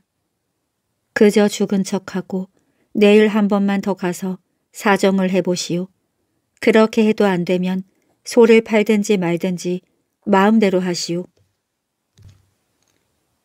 양장이는 우선 이렇게 위로하였습니다. 진상하러 온 사람은 다음날 다시 소들을 끌고 가서 간청하였어요. 전라 감사는 비스듬히 자리에 기댄 채로 아래 와서 허리를 굽히고 있는 자를 힐끗 내려다보는데 지금 깨서 바빠 받을 수 없으니 내일 와요. 하고 호방이 말했습니다. 그는 할 수 없이 다시 돌아와서 그 사연을 양장이에게 모두 말하였지요. 다음 날은 양장이가 직접 소를 몰고 가명으로 갔습니다. 나라에서 쓸 소를 진상하러 제주에서 왔으니 감사는 나와서 얼른 받으시오. 양장이는 들어가면서 큰 소리를 쳤습니다. 나졸들이 속으로는 웃으면서도 어제까지 매일 드나들던 자가 아니고 호령까지 하는 게 이상하다고 생각했습니다. 저 친구 봐라.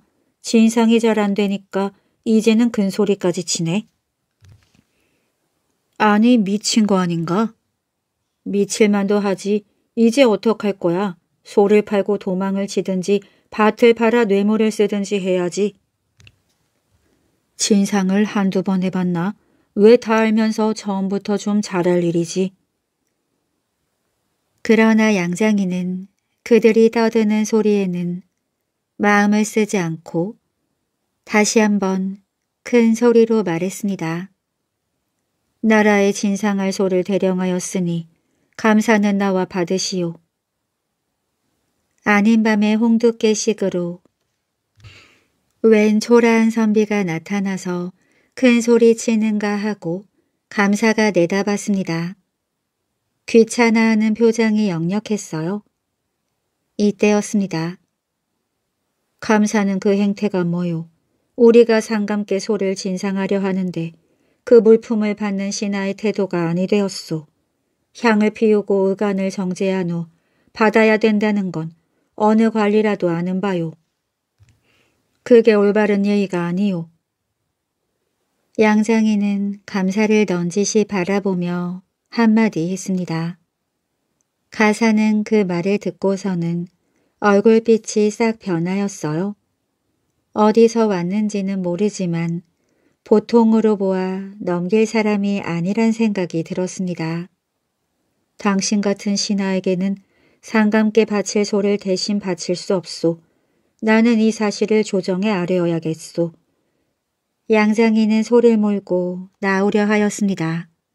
여보시오, 뭘 그리하시오. 몰고 온 소는 그냥 두고 가시오. 감사의 눈치를 살피던 호방이 달려나와서 양장이에게 말했습니다. 이놈 어디서 하던 버릇 아랫놈이 어디다 대고 상감께 바칠 물건에 대해 함부로 나불거리느냐? 감사가 나와서 사정을 해도 안 될 일인데 양장이는 이렇게 꼬집고 소를 몰고 돌아와 버렸습니다. 그러고 나서 기다리자니 가명에서 정갈이 왔어요. 지난번에는 분수를 모르는 아래 것들이 물리친 모양인데 다시 갖고 오면 얘를 갖추어 받겠다는 것이었습니다. 그러나 양장이는 듣질 않았어요. 한 사흘만 기다리다가 바치도록 해요. 그때에도 늦지는 않으니 마음 푹 놓고 있으시오. 양장이는 진상소를 갖고 온 사람에게 여유 있게 말했습니다. 아니나 다를까 가명에서는 매일 사람을 보내어 소를 진상하여 줄 것을 간곡하게 부탁했습니다. 노자에 보태어 쓰라고 돈까지 마련하여 사람을 보내곤 했지요. 그러나 양장이는 고개를 저었습니다. 이번 기회에 저놈들의 버릇을 단단히 고쳐놓아야 돼요. 그래야 다음부터 소를 진상하는 일이 쉬워지지요. 그러면서 사흘을 기다렸습니다. 그동안 매일 사람이 와서 간청하였지요. 사흘째 되던 날 소를 몰고 가명으로 갔습니다. 나 감사에 딱한 처지를 생각하여 이번에는 그냥 바치고 가지만 다음부터 이러면 우리는 바로 서울로 올라가 상감계 사실대로 아래고 직접 바칠 생각이요. 양장이는 못 이기는 척하고 소를 바쳤습니다. 그리고 나오는데 노자에 보태어 쓰라고 호방이 엽전꾸러미까지 건네주는 것이 아닌가요? 두 사람은 그 엽전을 가지고 며칠을 푹 쉬고는 의기양양하게 돌아왔습니다. 그 후부터는 전라 가명에 소를 진상하는 게 아주 쉬워졌다고 합니다. 닭과 이삭 아주 오랜 옛날에는 보리가 한 이삭에 한 500알 가량이나 달려 있었다고 합니다. 보리가 노랗게 익으면 한 이삭만 훑어도 한 움큼이 되고도 남을 정도였지요. 그러니까 보리 농사만 지어도 배불리 잘 살 수가 있었습니다. 어느 날 한 아주머니가 어린 아들을 데리고 보리밭에 김을 매러 나왔습니다. 그런데 밭둑 옆에 도랑을 건너뛰다가 잘못해서 아이가 그만 물에 빠지고 말았습니다. 아이가 물을 흠뻑 뒤집어 쓰고 울부짖자 아주머니는 재빨리 아이를 껴안고 밭둑으로 나왔습니다. 그리고 엉겁결에 보리삭을 마구 뜯어 아이의 몸에 묻은 물을 닦아주었습니다. 그것을 본 하느님은 매우 화가 났지요. 공교롭게도 하느님은 그때 막 하늘에서 내려와 땅 위를 이리저리 다니고 있던 참이었습니다. 어허 저런 고얀 노릇이 있나. 양식으로 삼아야 할 보리를 마구 뜯어 아이의 몸을 닦다니. 사람이란 보리를 먹을 자격이 없구나. 이제부터는 보리 이삭에 보리알이 달리지 않게 하겠노라. 하느님이 꾸짖자 그 말을 들은 사람들은 깜짝 놀라 하느님 앞에 모여들어 빌었습니다. 하느님 죽을 죄를 지었으니 한 번만 용서하여 주십시오. 그러나 하느님은 좀처럼 노여움이 풀리지 않아 아니 되느니라 입으로 들어가야 할 곡식을 그렇게 다루고도 어찌 용서를 바라는가 하고 호통을 쳤습니다. 그때 한 사람이 나서서 예, 옳은 말씀이옵나이다. 저희들은 워낙 큰 죄를 지었으니 백 번 굶주려도 마땅하오나 하지만 아무 죄도 없는 닭은 어찌하오리까? 보리가 없으면 닭도 굶어 죽게 될 터인데 닭을 죽게 하시겠나이까? 하고 물었습니다. 그 말을 들은 하느님은 비로소 닭을 죽게 해서야 되겠는가? 그러면 닭이 먹고 살 만큼만 보리알이 달리도록 하겠노라. 하고 말했습니다. 그 말대로 그 뒤부터 보리 이삭에는 보리알이 5, 60알 가량밖에 달리지 않게 되었다고 합니다. 폭포와 효자 옛날 어느 동네에 한 농부가 살았는데 결혼을 한 지 10여 년이 지나도 자식이 없어 무척 걱정이 많았습니다. 그래서 그들 부부는 밤이면 밤마다 천재연이라는 폭포에 찾아와서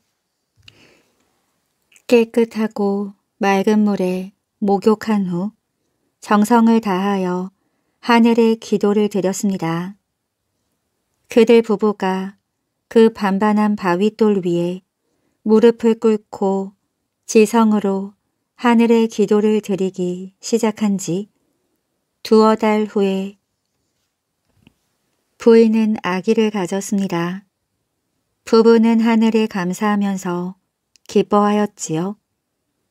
열 달 후에 부인이 옥동자를 낳았습니다.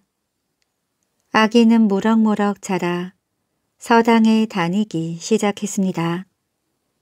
그렇게 되자 그 부모들의 자식에 대한 기대도 사무 크지 않을 수 없었지요.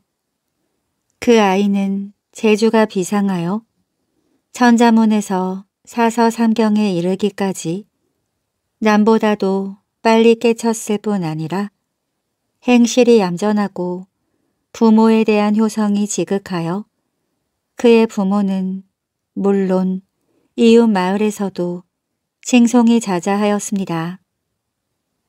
그런데 정말 불행한 일이 닥쳐왔어요.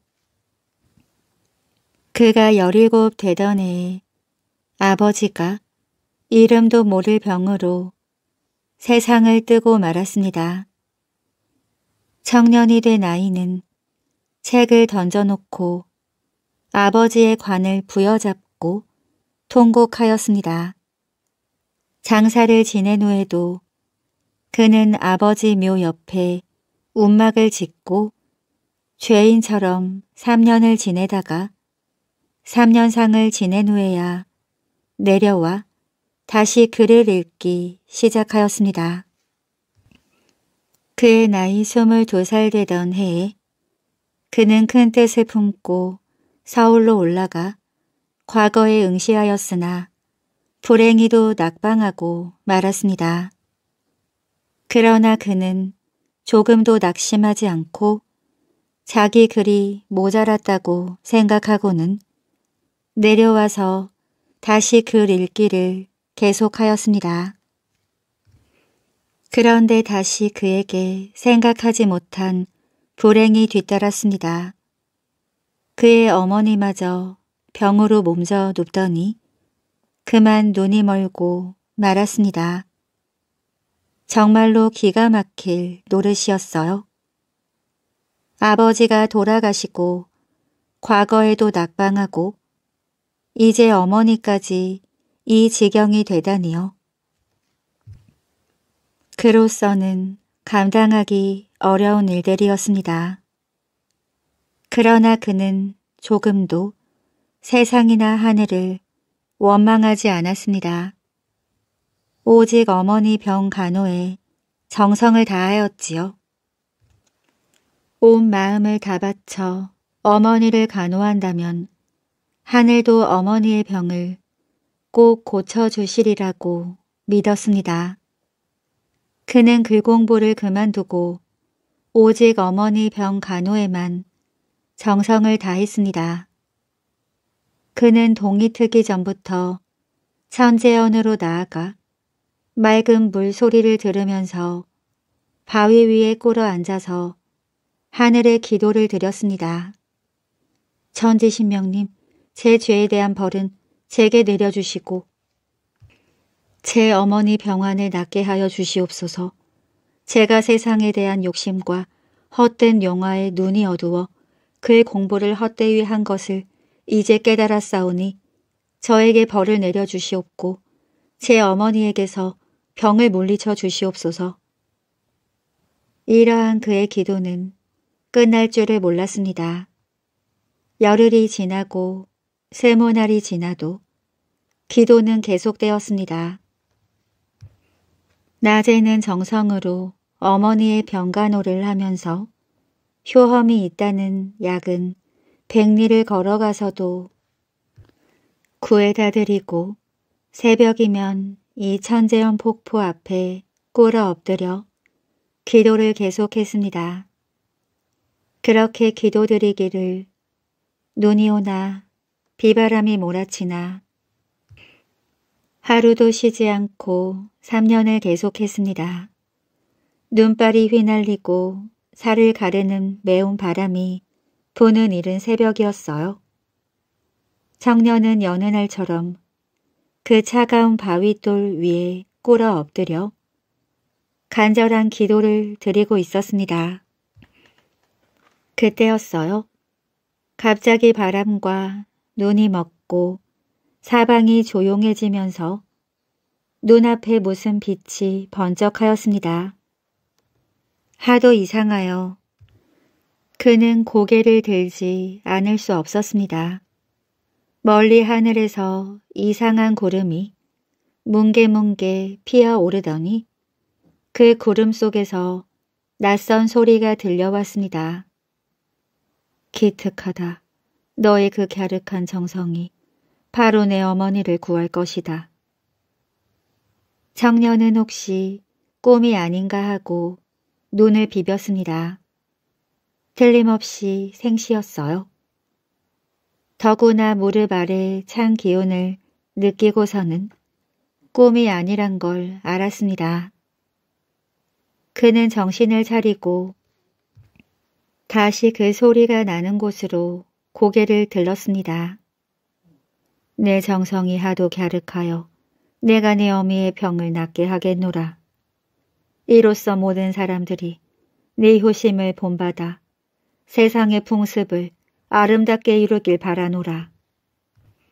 이는 내가 과거를 보고 벼슬을 하여 백성들을 다스리는 일보다 더욱 소중한 일이니라. 청년은 그 음성을 들으면서 다시 눈을 감고 기도를 드렸습니다. 하느님, 저의 죄를 용서하여 주시고 바른 길로 인도하여 주소서. 그러하오면 모든 것을 하느님 뜻대로 하겠나이다. 다시 말한다. 너는 이제 글에만 뜻을 두지 말고 그 글을 직접 행하는 일에 마음과 몸을 바쳐라. 아는 일은 쉬우나 행하는 일은 어려우니라. 알고도 행하지 않으면 그 아는 것이 오히려 해가 된다. 백성을 못살게 굴고 자기 이익만 생각하는 실로 나쁜 관리가 되는 것은 오히려 세상을 더 어지럽히는 죄까지 범하게 되는 것이니라. 그 하늘에서 떨어지는 말이 청년의 뼛속 깊이 스며들었습니다. 나는 이제 너와 하직하고 하늘로 가노라. 내 말을 명심하고 세상에서 옳은 일을 하도록 하여라. 말이 끝나자마자 다시 하늘에서 이상한 소리가 들리고 차차 그 찬란한 빛이 쓰러지더니 잠시 후에는 전과 같이 눈바람이 몰아치는 추운 날씨로 변하였습니다. 청년은 자리에서 일어났어요. 그리고 아까 들었던 그 소리와 하늘이 환하게 빛나던 일들을 생각하며 집으로 돌아왔습니다. 그런데 이게 웬일일까요? 어머니가 자리에서 일어나 부엌에서 아침을 준비하고 있는 겁니다. 어머니, 이게 어찌 된 일이옵니까? 아들은 어머니를 부여잡고 어쩔 줄을 몰랐습니다. 글쎄다, 어쩐지 일어나고 싶더라. 그래서 자리에서 일어나려는데 그렇게 몸이 가볍고 마음이 상쾌할 수가 없어. 그런데 이상하게도 눈앞에 무엇이 번쩍하고 빛이 지나가는 것 같더니 이상하게 손으로 눈을 쓸어 보고 싶더구나. 그러더니 앞이 환하게 보이는 게 아니겠니? 꼭 오랜 잠에서 깨어난 기분이다. 어머니는 어디 멀리 나갔다가 돌아와서 이야기하는 도로 말하였습니다. 청년은 아까 그 천재연 폭포 앞에서 들었던 목소리가 생각났어요. 어머니, 이는 하느님이 우리를 도우신 것입니다. 제게 큰일을 하도록 명령을 해주셨습니다. 청년은 아까 들었던 이야기를 어머니에게 말씀드리고 이제부터 글 공부를 그만두고 자기의 할 일을 이야기하였습니다. 그래, 너는 바로 하늘이 준 자식이다. 그 천재연 폭포에 가서 하늘의 기도를 드려서 너를 얻었으니 너는 마땅히 하늘의 뜻대로 살아야 한다. 그로부터 청년은 과거를 보려던 그 공부를 그만두고 스스로 착한 일을 찾아 하면서 살기 시작했습니다. 남이 싫어하는 일을 혼자 하고 아이들이나 글 모르는 사람들에게 글을 가르쳐 주고 어려운 사람들의 일을 도와주고 심지어는 사소한 싸움에까지 끼어들어 화해를 시켜 주었습니다. 그는 정말 어린아이와 같이 어떤 때는 바보와 같이 어떤 때는 성난 말과 같이 이리 뛰고 저리 뛰면서 부지런히 살아나갔습니다. 그래서 마을 사람들은 누구나 그를 따르게 되었답니다. 용이 되지 못한 한 서귀포 앞바다에 사업섬이란 섬이 있습니다. 이 섬은 정방폭포 동쪽 보목리 앞에 있는데 열대성 식물이 많이 자라는 섬으로 유명합니다. 그런데 이 섬에는 다음과 같은 이야기가 전해 내려옵니다. 아주 오랜 옛날 이 섬에는 큰 뱀이 살고 있었습니다. 그 뱀은 용이 되는 것이 소원이었어요.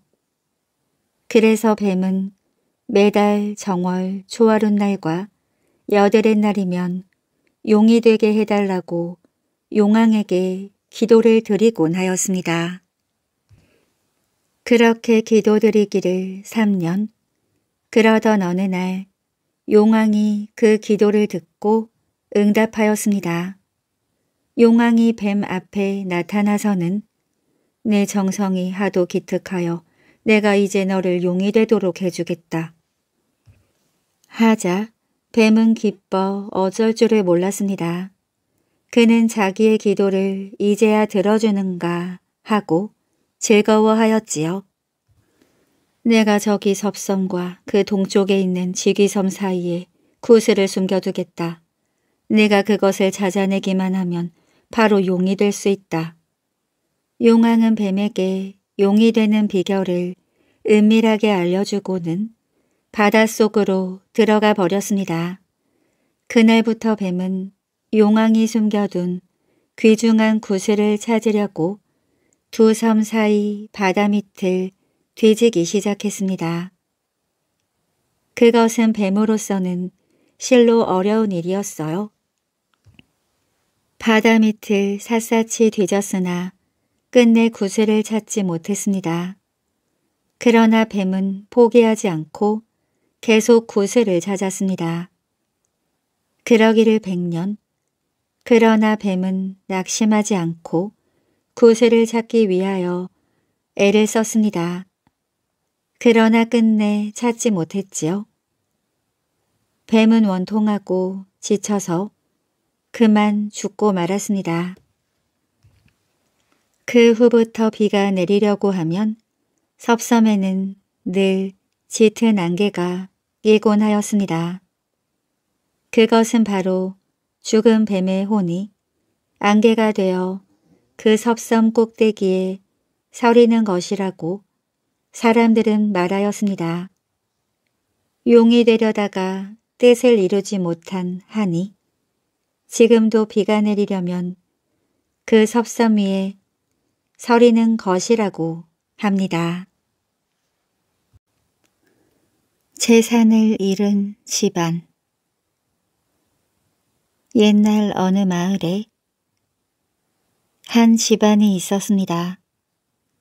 원시성을 가진 이 집안은 마을 맨 안쪽에 큰 기와집을 짓고 매우 호화롭게 살았습니다. 그 집은 매우 웅장하였고 처마마다 풍경이 달려 있었어요. 바람이 불 때마다 그 풍경 소리가 온 마을에 울려 퍼져 지나가던 사람들의 발걸음까지 멈추게 하였습니다. 하루는 지나가던 목사가 이 집에 들렀습니다. 풍경 소리를 따라 들어왔는데 살펴보니 평민이 사는 집으로는 너무나 웅장하였어요. 집을 바라보던 목사는 마음이 뒤틀렸습니다. 당장 집을 헐어버리라고 호령하고 싶었으나 그럴 수도 없었습니다. 참 집이 훌륭합니다. 호기 집의 이름이 안 붙어 있는지요. 목사는 집이 훌륭함에 감탄하며 아주 점잖고 공손하게 주인에게 물었습니다. 예, 뭐 보잘것없는 제 집에 대해 그렇게 말씀해 주시니 부끄럽습니다. 돌아가신 아버님께서 저희 여덟 형제를 두셨는데 그래서인지 팔룡당이라 불러온 줄 아옵니다. 집주인은 아주 공손하게 그리고 조심스럽게 말하였습니다. 마음속에는 어떤 오만함이 서려 있는 투였어요. 그가 아무리 목사라고 하지만 자기 재산을 따르겠느냐는 마음이었습니다. 그런 집주인의 속마음을 목사도 느꼈습니다. 더구나 여덟 아들을 두었다 하여 감히 용자를 써서 집 이름을 붙인 것도 괘씸하기 그지없었어요. 발용당이라 집 이름 치고는 매우 훌륭합니다만 목사는 말끝을 채 맺지 않고 고개를 설레설레 저었습니다. 집주인은 바짝 긴장하였습니다. 아까는 오만한 마음으로 의젓하게 말하였지만은 목사의 표정을 보니 마음이 어수선하였습니다. 무슨 말씀이 온지 혹시 잘못된 점이라도 주인의 마음이 불안해지기 시작하였음을 눈치챈 목사는 속으로 옳다구나 하였습니다. 그만하면 자기가 능히 저 큰 집을 마음대로 할 수 있겠다고 생각했어요. 예, 집 이름은 훌륭합니다만 일반 백성의 집 이름으로는 너무 센 것 같습니다. 앞으로 목사는 말끝을 맺지 아니하고 안타깝다는 얼굴로 주인을 바라보고는 자리를 뜨려 하였습니다. 사또 나으리 이왕 말씀을 꺼내신 김에 적당한 집 이름을 하나 마련하여 주시면 감사하겠습니다. 주인은 목사의 말을 듣자 갑자기 불안해지기 시작했습니다. 생각해 보십시오. 용자는 우리 같은 백성들에게는 너무 과분합니다. 그렇지 않습니까? 목사는 이번에는 집주인의 얼굴을 아주 정면으로 바라보며 추궁하듯 물었습니다. 목사 자신의 신분으로도 그런 글자를 써서 집 이름을 지을 수 없다는 말은 왕이 아니면 그런 집 이름을 쓸 수 없다는 것을 내비쳤던 것입니다.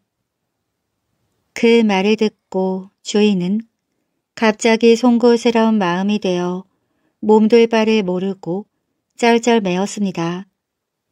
이렇게 하십시오. 용자를 뱀사로 바꾸십시오. 목사는 딱 잘라 말했습니다. 이미 주인은 목사의 말을 따르지 않을 수 없게 되었어요. 알겠습니다. 주인은 곧 집 이름을 팔사당으로 바꾸어 버렸습니다.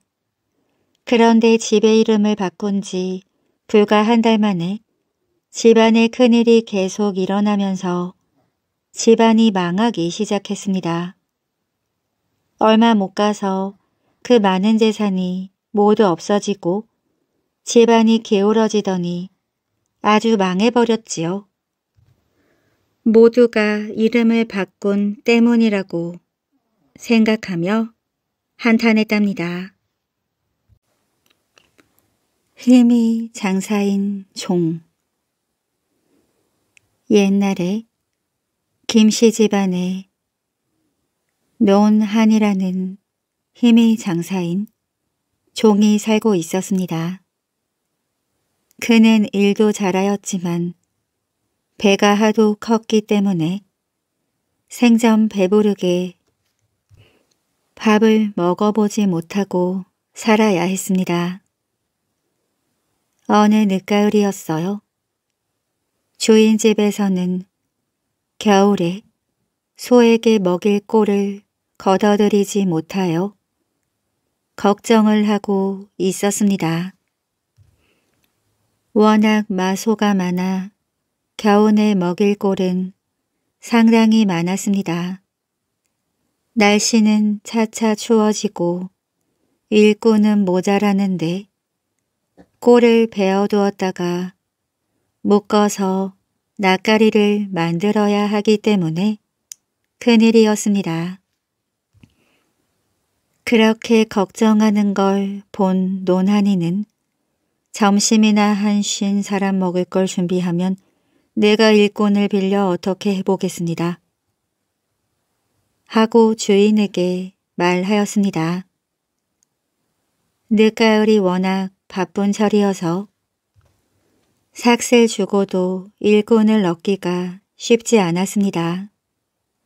그럼 내가 내일 점심을 준비시킬 테니 오늘 저녁에 가서 일꾼을 빌리도록 하여라. 논한이는 걱정 말라고 장담을 하면서 밖으로 나갔습니다. 이웃 마을에 가서 일꾼을 빌리려는 것이었어요. 다음 날 새벽에 논한이는 일찍 집을 나가면서 내가 일꾼 데리고 가서 일을 하고 있을 테니 점심이나 틀림없이 해와야 합니다. 하고 주인에게 신신당부하고는 먼저 밭으로 나갔습니다.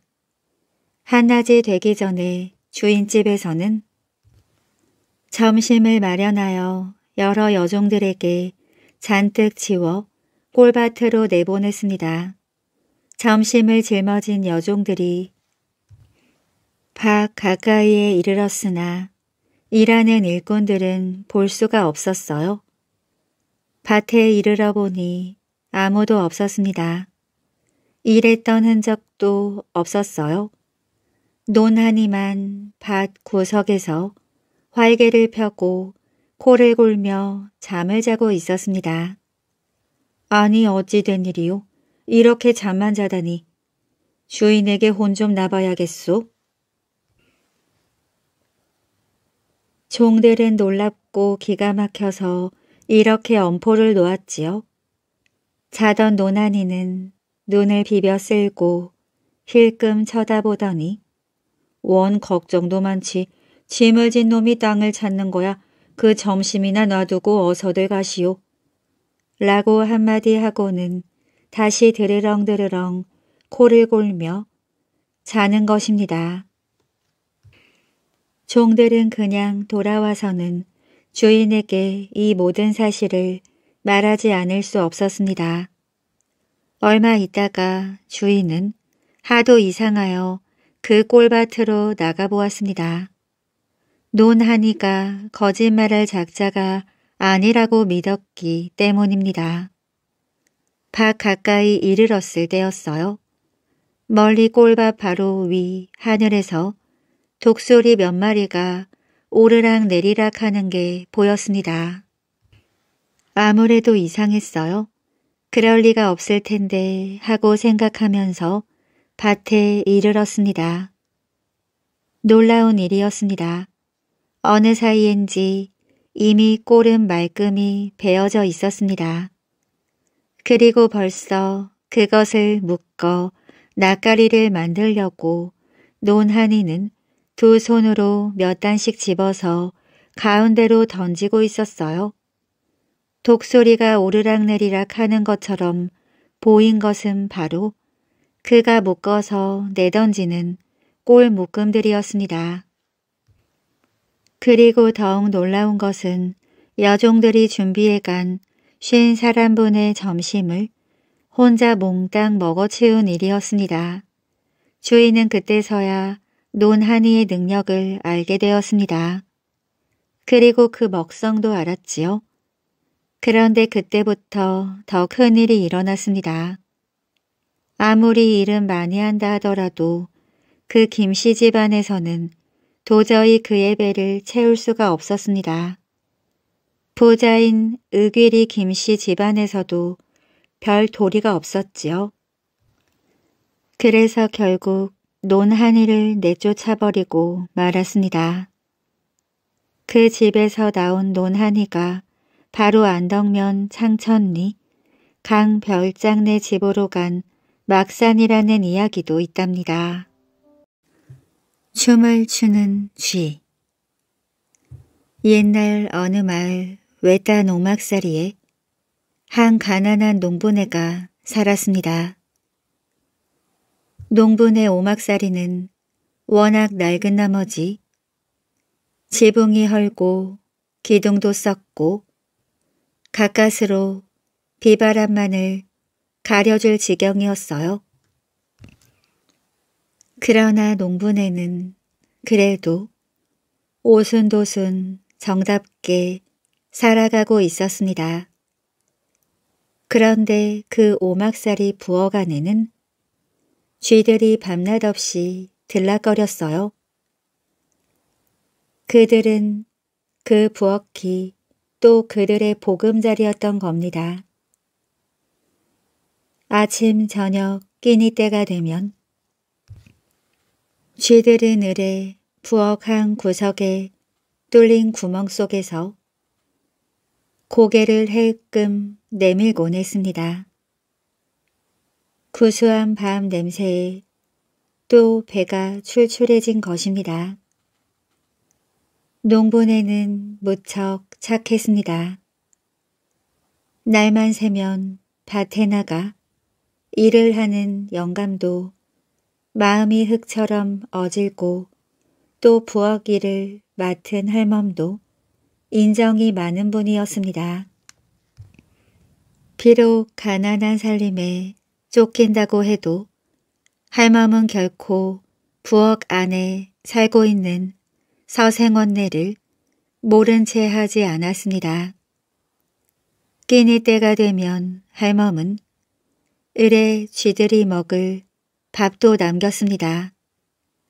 사람들이 한 숟갈 더 못 먹더라도 쥐들이 굶지 않도록 반드시 밥 찌꺼기를 쥐구멍 앞에 놓아 두곤 하였습니다. 오냐 쥐라고 해서 목숨이 다르겠느냐 너희들도 먹고 살아야지. 하고 중얼거리며 말입니다. 그런데 어느 날 한낮이었어요. 금방 큰 비가 쏟아질 것처럼 날씨가 워낙 험해 그날은 영감도 밭 일을 나가지 않고 모두 방 안에 모여 앉아 있었습니다. 그러자 어쩐 까닭인지 갑자기 부엌에 쥐들이 마당으로 쪼르르 달려나왔습니다. 그리고 뒷다리로 발딱 일어나서 우쭐우쭐 춤을 추기 시작했어요.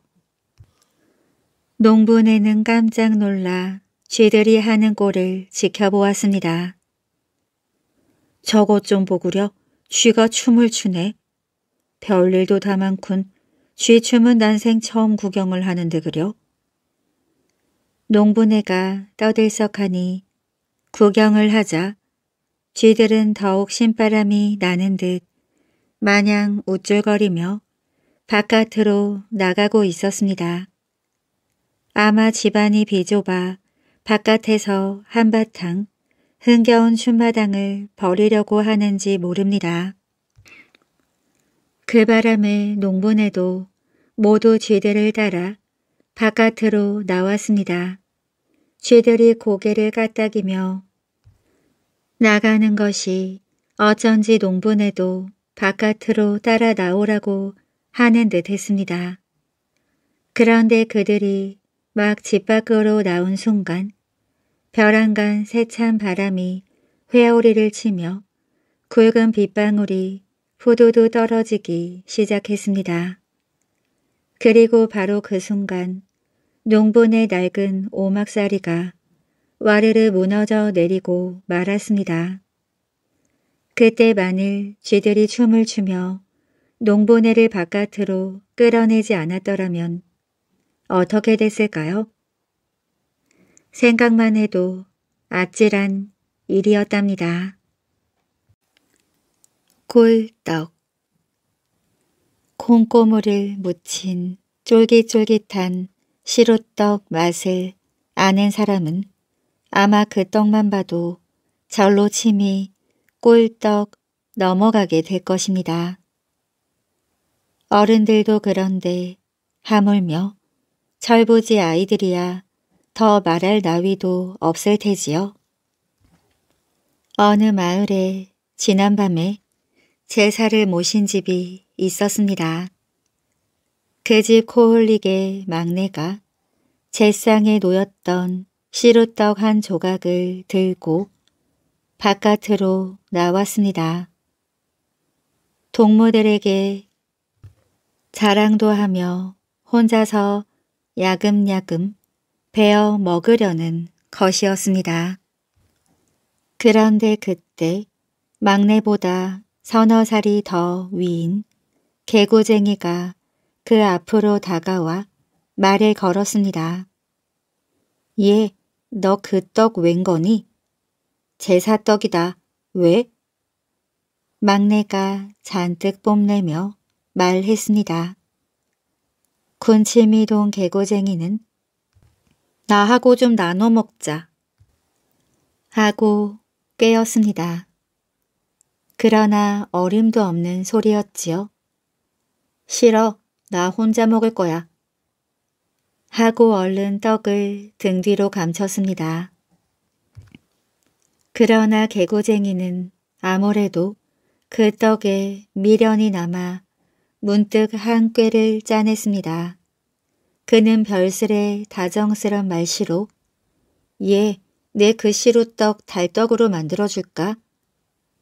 하고 막내를 깨웠습니다. 달떡이 뭔데?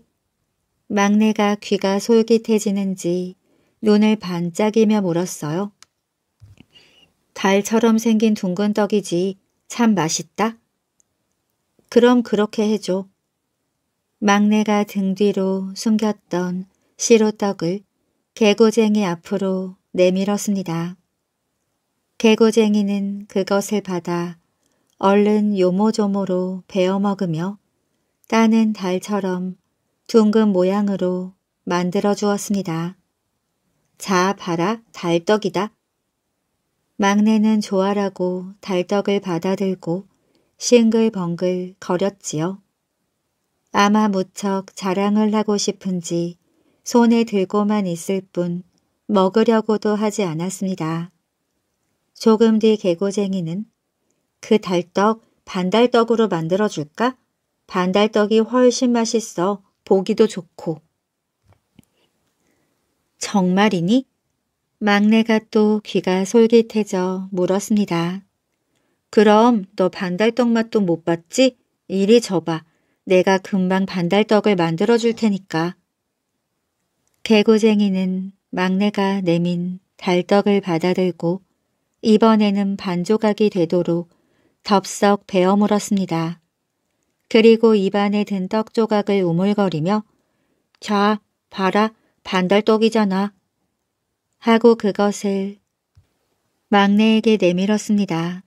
막내는 반달떡을 받아들고 또 가만히 들여다보고만 있었습니다. 아마 반달떡이 무척 신기한 듯 했어요. 개고쟁이는 조금 뒤에 또 예, 그 반달떡 꿀떡으로 만들어줄까? 하고 막내의 눈치를 살폈습니다. 어, 그렇게 해줘.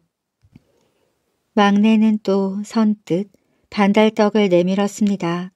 개고쟁이는 그것을 받자마자 눈 깜짝할 사이에 입안에 넣어 꿀떡 삼켜버렸습니다.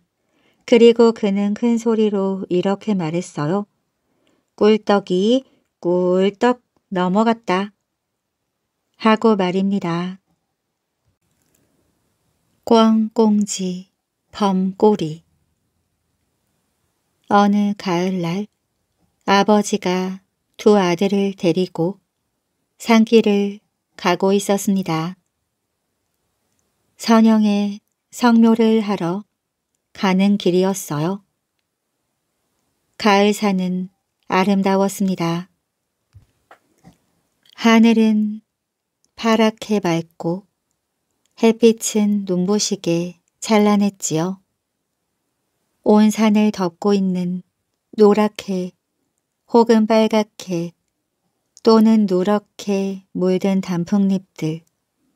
길섭에는 억새꽃이 하얗게 나복기고 또 들국화와 도라지꽃이 활짝 피어 있습니다. 아람이 벌어진 밤송이에서 알밤이 툭 하고 떨어지는 소리도 들립니다. 도토리도 떼떼구르르 떨어져 굴러갑니다. 숲속 어디선가는 산 비둘기가 구구구 울고 이따금 퍼드덕거리고 장기가 날아오르기도 합니다. 세 사람은 앞서거니 뒤서거니 부지런히 걸어가고 있는데 아버지가 문득 아 가을이 깊었구나 하고 큰 소리로 중얼거렸습니다. 곧 겨울이 오고 겨울이 오면 흰눈이 내리겠지요. 형이 또 맞장구를 쳤습니다. 그런데 그때 맨 앞에서 걸어가던 아우가 아 이게 뭘까 하고 갑자기 걸음이 멈추며 말했습니다. 뭔데? 형이 다그쳐 물었습니다. 이것 좀 봐. 이렇게 아롱다롱한 것을 보니 아마 토끼 꼬리인가 봐. 아우가 알락달락한 예쁜 깃털을 하나 주워들고 말했습니다. 꽝공지에서 빠진 깃털이었습니다. 아마 장기가 기운차게 날아오르다 떨어뜨린 것인 듯합니다. 그런데 아우는 엉뚱하게도 그걸 토끼 꼬리라고 하는 것입니다. 그러자 형이 바보 같은 소리 하지 마. 조그만 토끼가 어떻게 이런 긴 꼬리를 달고 다닌단 말이야. 이건 아마 노루꼬리일 거야. 하고 아는 체 했습니다. 그 말을 들은 아버지는 어허 너희들 내가 죽고 나면 아무것도 모른다고 남들에게 웃음거리가 되기 알맞겠다. 이게 무슨 꼴인지 그렇게도 모른단 말이냐. 잘 봐라. 이렇게 아롱다롱한 것을 보니 범의 꼬리가 틀림없구나. 하고 말했다고 합니다. 이상한 동굴 옛날 옛적에 한 나무꾼이 겪은 이야기입니다. 나무꾼은 빈 지게를 지고 혼자서 콧노래를 흥얼거리며 어슬렁 어슬렁 산속으로 들어갔습니다. 날마다 나무를 하러 갈 때면 노래를 불렀습니다.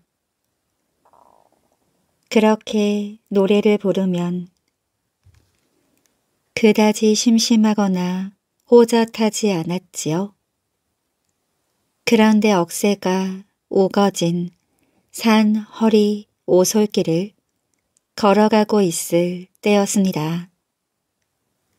난데없이 산토끼가 한 마리 깡총 튀어나왔습니다. 나무꾼은 그 토끼를 보자 눈이 번쩍 띄었습니다. 아, 토끼나 잡아야지. 나무꾼은 이런 욕심에 불이 나게 토끼를 뒤쫓았습니다. 그러나 토끼는 여간 걸음이 재빠르지 않았습니다. 마치 나무꾼을 꿰듯 헬끔헬끔 되돌아보곤 하며 쏜살같이 달아났습니다. 노칠세라 나무꾼은 가쁜 숨을 헉헉거리며 마구 뒤쫓아가는데 어디선가 이번에는 노루가 한 마리 불쑥 나타났습니다. 뿔이 난 큰 노루였습니다. 노루를 잡아야지. 나무꾼은 번개처럼 생각이 바뀌어서 토끼는 놓아주고 그 노루를 뒤쫓았습니다. 그런데 노루도 마치 나무꾼을 꿰듯 흘깃흘깃 고개를 돌리고 나며 달아났습니다. 나무꾼은 길을 쓰고 노루를 뒤쫓아가다 문득 걸음을 멈추고 말았습니다. 노루가 바위로 된 동굴 속으로 뛰어들어가 버린 것입니다. 노루나 드나들 정도일 뿐 그다지 큰 동굴이 아니었습니다. 어떻게 할까 나무꾼은 잠깐 망설이다가 에라 이왕 여기까지 뒤쫓아왔으니 동굴 안까지 들어가 봐야지 하고 마침내 그 동굴 속으로 발을 들여놓았습니다. 입구 쪽은 매우 비좁고 캄캄했습니다. 나무꾼은 더듬거리며 차츰 안으로 들어갔습니다. 그러자 갑자기 눈앞이 환해지며 넓은 세상이 펼쳐졌습니다. 그리고 턱수염이 허연 노인이 나타나 어디서 오셨소? 하고 반기며 물었습니다. 예, 저는 바깥 세상에 사는 나무꾼이 올시다. 나무꾼은 저도 모르게 고개가 숙여졌습니다. 노인이 워낙 신선처럼 우러러 보였던 것입니다. 잘 오셨소. 여기서 며칠 쉬어가도록 하시오. 노인이 말했습니다. 나무꾼은 그 노인을 따라 동굴 안 세상으로 들어갔습니다. 그곳은 언제나 봄날처럼 햇빛이 눈부신 아름다운 동산이었습니다. 숲이 우거지고 맑은 물이 흐르고 새들이 지저귀고 또 나무마다 향기로운 열매가 주렁주렁 매달려 있고 여기저기 붉고 흰 꽃들이 활짝 피어 있었습니다. 나무꾼은 마냥 행복했습니다.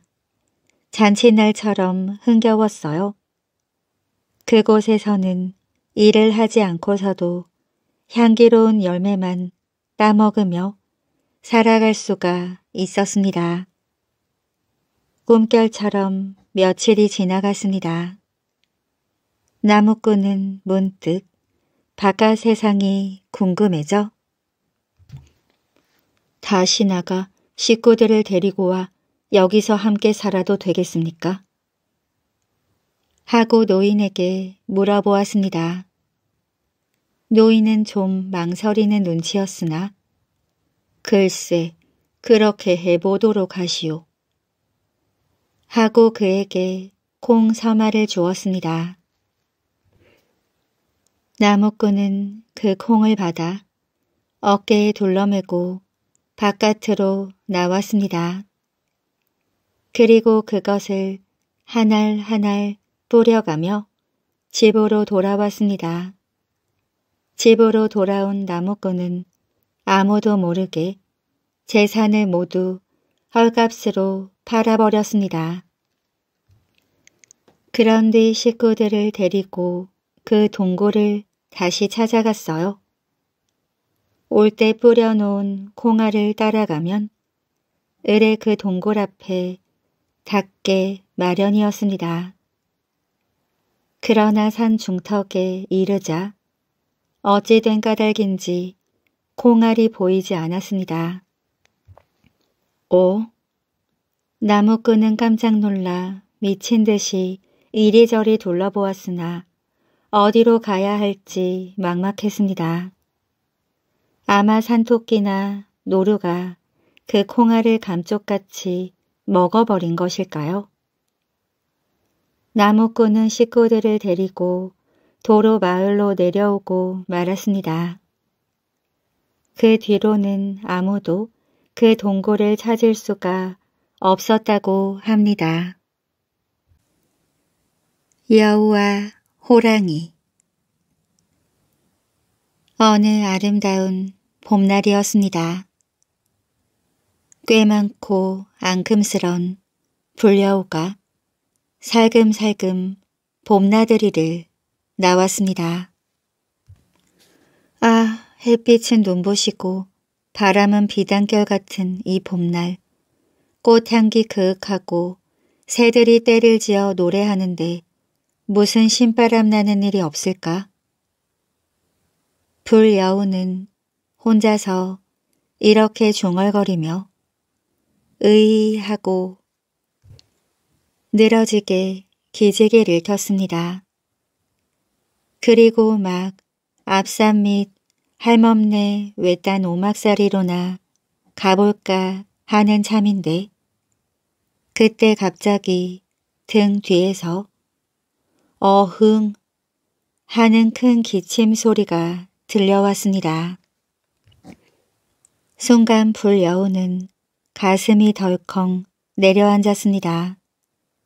소리만 듣고서도 불여우는 자기 등 뒤에서 어떤 일이 벌어지고 있는지 번개처럼 깨달았던 것입니다. 아이고 나 죽었네. 하고 불여우는 오금이 저려왔으나 그래도 애써 살그머니 고개를 돌려보았습니다. 아니나 다를까 바위만한 호랑이 한 마리가 입을 떡 벌리고 바로 불려우 뒤로 다가오고 있었습니다. 호랑이도 아마 바위 굴 속에 엎드려 있으려니까 좀이 쑤셔 나들이를 나온 길인 듯 했습니다. 아구구 호랑이 아주버님 안녕하세요. 불여우는 아첨꾼처럼 아양을 떨며 인사를 했습니다. 암, 그렇다마는 내가 지금 배가 좀 출출하다.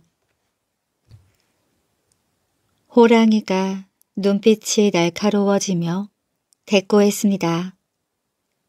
여차하면 불여우를 한 입에 삼켜버릴 듯한 기세였지요. 아닌 게 아니라 호랑이는 워낙 힘이 세고 사나운 데다 곰 다음으로 어리석은 터라 성이 나면 무슨 일을 저지를지 모릅니다. 헤헤 그러세요. 그럼 좋은 수가 있는걸요? 여우가 깨었습니다. 무슨 일인데? 호랑이 아주버님은 새 고기를 좋아하시죠? 그러나 새들은 날마다 하늘로 날아다니니 좀처럼 잡아먹을 수가 없잖아요. 그건 그렇지. 하지만 제 말만 잘 들으시면 가만히 앉아서도 새를 실컷 잡수실 수가 있을 거예요. 그게 참말이냐? 믿어도 좋을까? 호랑이가 갑자기 험상궂은 얼굴로 불여우를 노려보며 물었습니다. 만약 거짓말을 했다가는 혼이 날 줄 알아란 듯이 말입니다. 그럼요. 믿으세요. 이래봬도 이 산골에서는 모두 나만 보면 무서워서 슬슬 도망간다고요. 불려우가 다시 말했습니다. 도대체 누가 너를 무서워한단 말이냐? 그런 거짓말은 하지도 마라. 난 안 속을 테니. 아닙니다요. 거짓말인지 아닌지 내 뒤를 따라와 보면 아시지 않겠어요? 그럼 내가 가는 대로 저만큼 뒤에 떨어져서 따라오며 지켜보세요. 짐승들이 어떻게 하는지 금방 알 수가 있을 테니까요.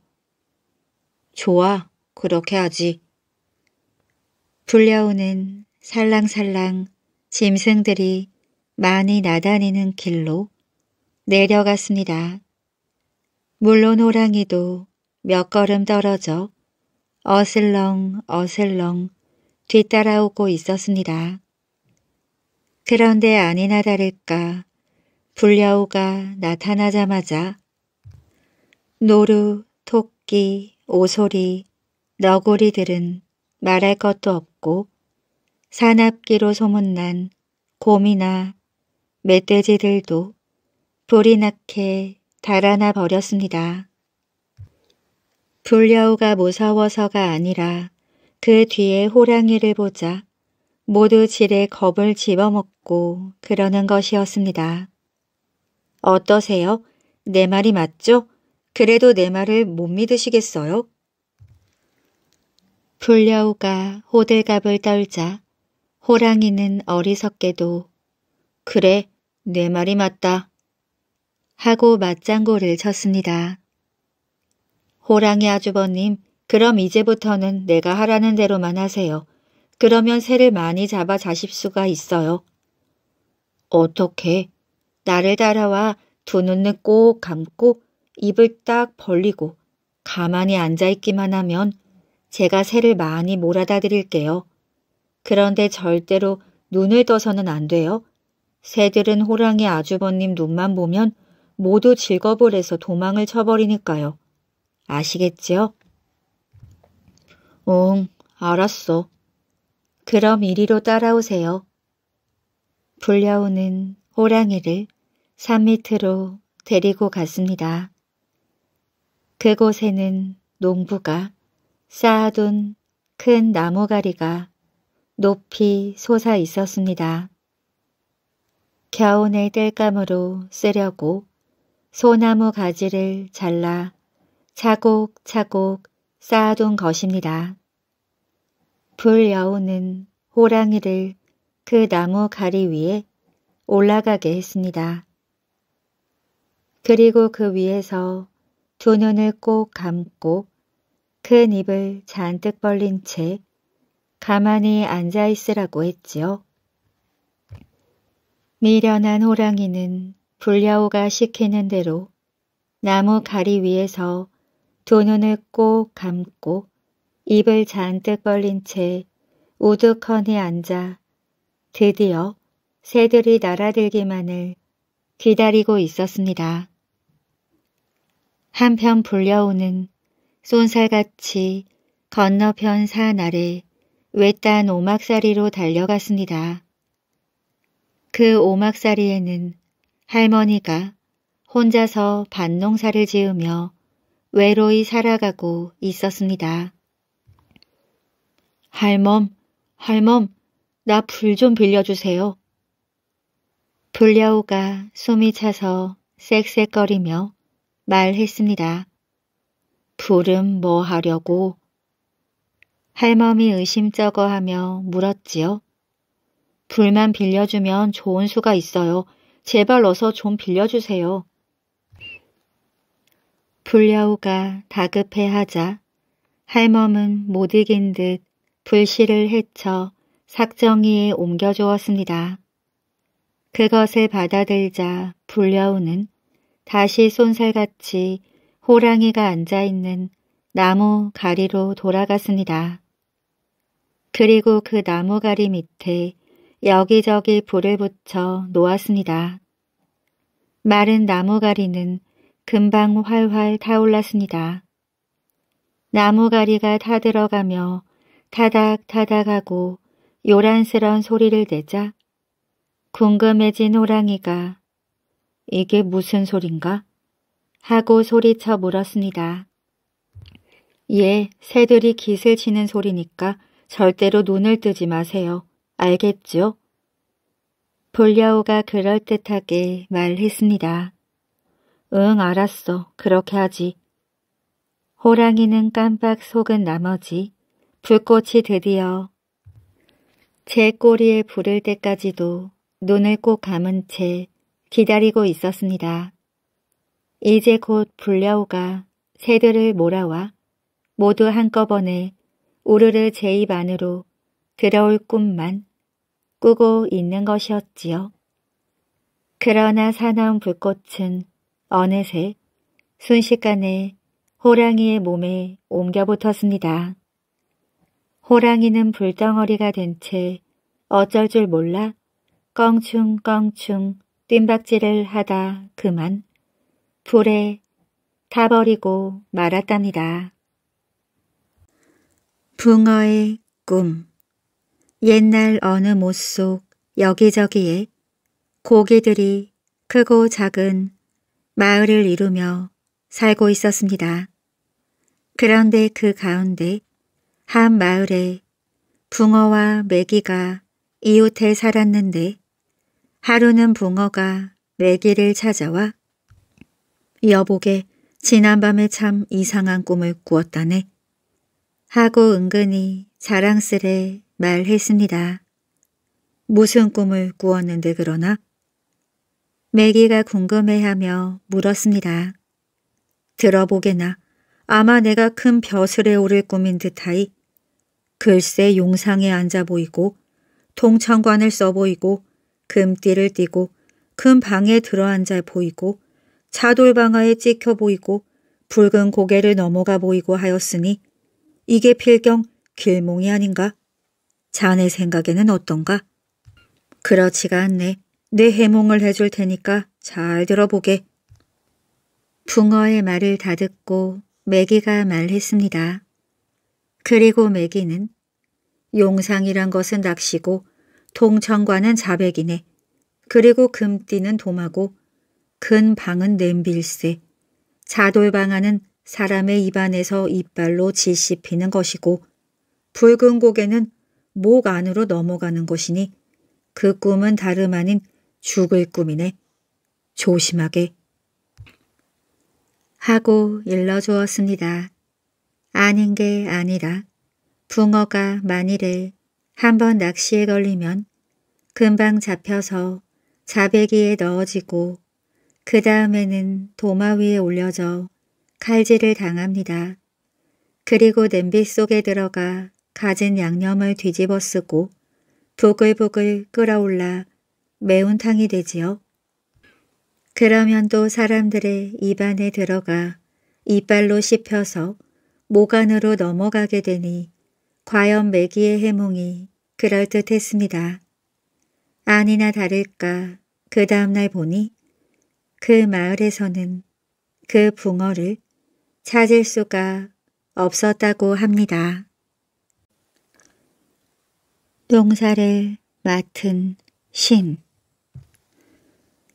옛날 아주 오랜 옛날 대감 벼슬을 지낸 김진국이란 사람이 있었습니다.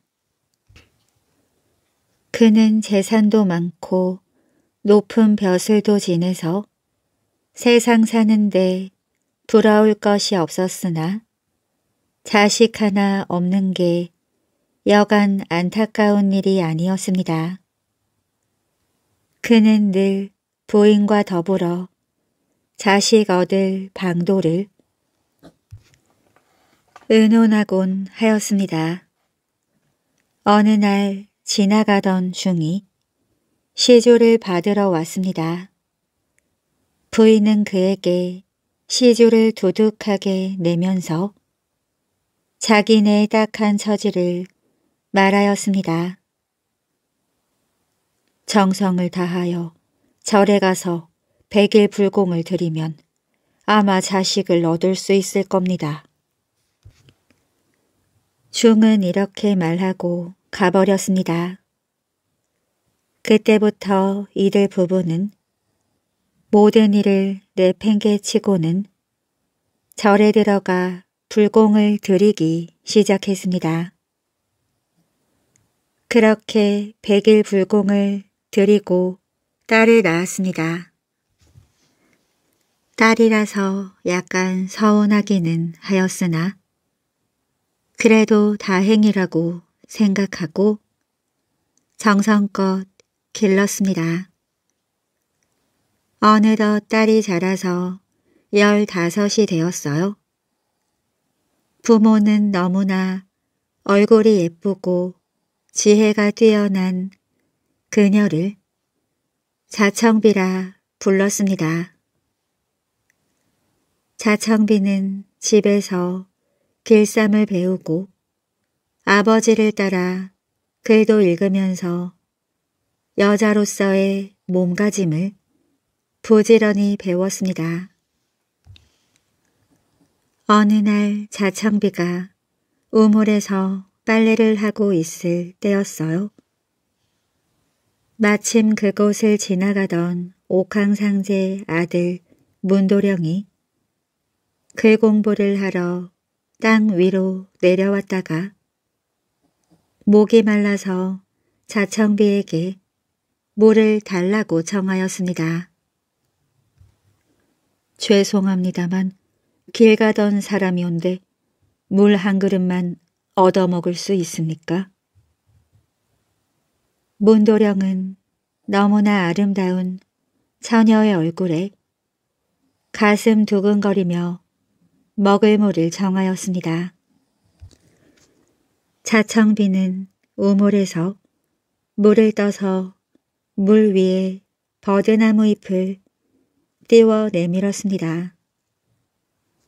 문도령은 불만스러운 표정을 지으며 물 그릇을 받아 푸푸 불면서 물을 마셨지요.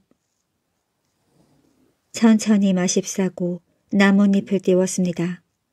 목이 마르다고 급히 마시다가 체하는 날은 약도 소용이 없지요. 이렇게 설명하는 자청비의 말을 듣고서야 문도령은 처녀의 곱고 지혜로운 마음씨를 알 수 있었습니다. 이어서 자청비가 문도령에게 말을 걸었습니다. 선비께서는 어디로 가시는 길이 온데 그렇게 바삐 다니십니까? 예, 나는 하늘나라에서 온 문도령인데 아랫마을 김 선생 댁에 글 공부를 하러 가는 길입니다. 정말 다행이군요. 글 공부를 할 수 있으니. 자청비는 이렇게 말하면서 하던 빨래를 거두고는 안으로 급히 들어가 버렸습니다. 문도령은 그 아름다운 처녀의 모습에 마음이 끌려 그냥 멍청하게 서 있었어요. 그때 그 처녀가 다시 나오더니 선비님 미안하지만 잠깐 기다려 주실 수 없습니까? 제 동생도 함께 글 공부를 보내려 합니다.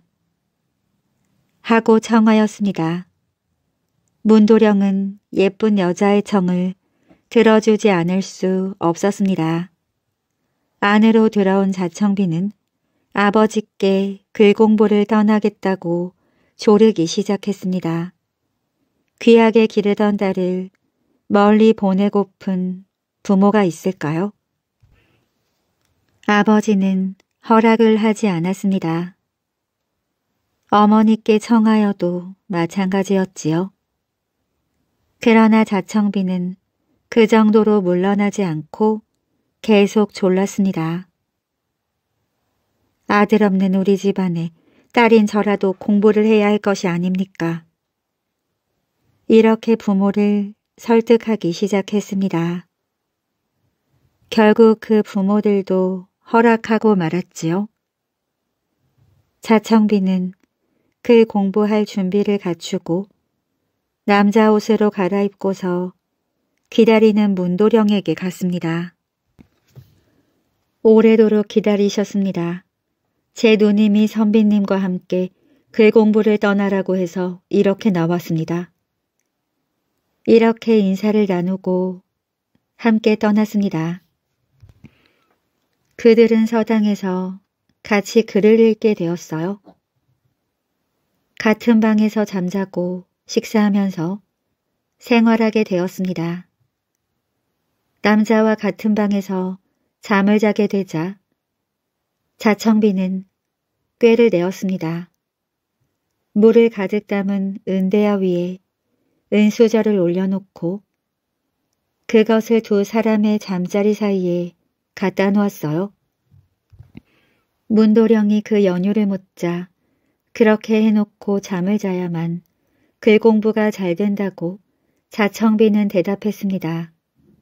자청비는 안심하고 잠을 잘 수 있었으나 문도령은 그 물그릇을 엎지를까봐 조마조마하여 밤새껏 잠을 자지 못했습니다. 그래서 낮에 서당에 가면 항상 꾸벅꾸벅 졸기만 하였습니다. 그러니까 글은 항상 자청비가 앞섰습니다. 그렇게 3년을 공부하는데 하늘나라 문도령네 집에서 편지가 왔습니다. 편지를 받아든 문도령의 얼굴빛이 이상하게 변하자 자청비가 그 연유를 물었습니다. 집에서 장가가라고 연락이 왔어요. 문도령은 집에 돌아가는 일보다 3년 동안 같이 지내면서 정이 든 자청비와 헤어지는 일이 섭섭하였습니다. 그러면 저도 공부를 그만두고 고향으로 가겠습니다. 같이 왔는데 선비님은 가시고 저만 남아서 공부를 할 수 있겠습니까? 자청비도 고향으로 떠날 채비를 차렸습니다. 그들은 서당을 떠나 고향으로 향했습니다. 자청비는 터벅터벅 걸으면서 지난 생활을 생각하니 어처구니가 없었습니다.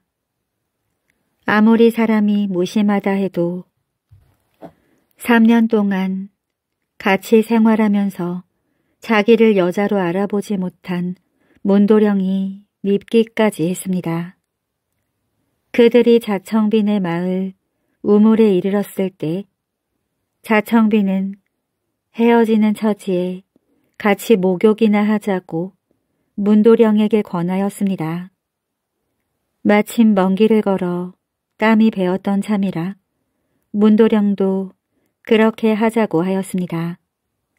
둘이서 목욕을 할 때에 자청비는 옷도 벗지 않고 버들잎을 한 줌 따서 문도령이 목욕하는 물에 뿌렸습니다.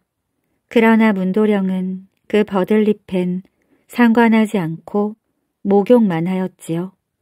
어찌나 답답한지 자청비는 그 버들잎에 글을 써서 다시 띄웠습니다.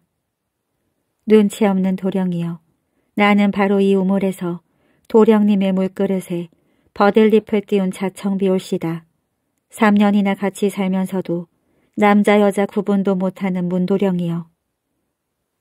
문도령이 그 글을 보고는 목욕하다 말고 부랴부랴 물에서 나와 옷을 주섬주섬 입었습니다. 그러나 자청비는 보이지 않았어요.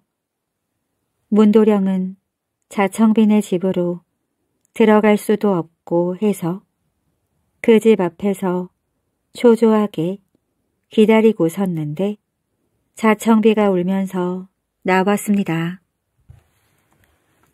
문도령은 반가운 나머지 달려들어 자청비의 손목을 붙잡으려 하였으나 자청비가 몸을 돌리며 외면하였습니다. 우리는 이제 갈라서야 할 처지입니다. 어서 떠나십시오. 문도령은 무엇라고 할 말이 없었습니다. 그 긴 3년 동안 자청비를 알아보지 못하고 지냈던 것이 후회스러울 뿐이었지요. 문도령은 자청비에게 헤어지는 정표로 박 씨와 빚 반쪽을 주면서 우리가 지금 어쩔 수 없이 헤어지지만 꼭 돌아오겠소. 이 박 씨를 심어서 다시 박이 열리기 전에 틀림없이 돌아오겠소. 하고 단단히 약속하고 떠나갔습니다. 문도령이 떠나가 버린 후 자청비는 매일같이 문도령을 기다렸습니다.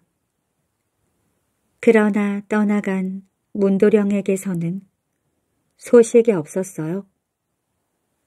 그동안의 자청빈의 집안에서는 결혼 이야기가 여러 번 오갔습니다. 나이 찬 딸을 집에 가만 놔둘 부모들이 아니었지요.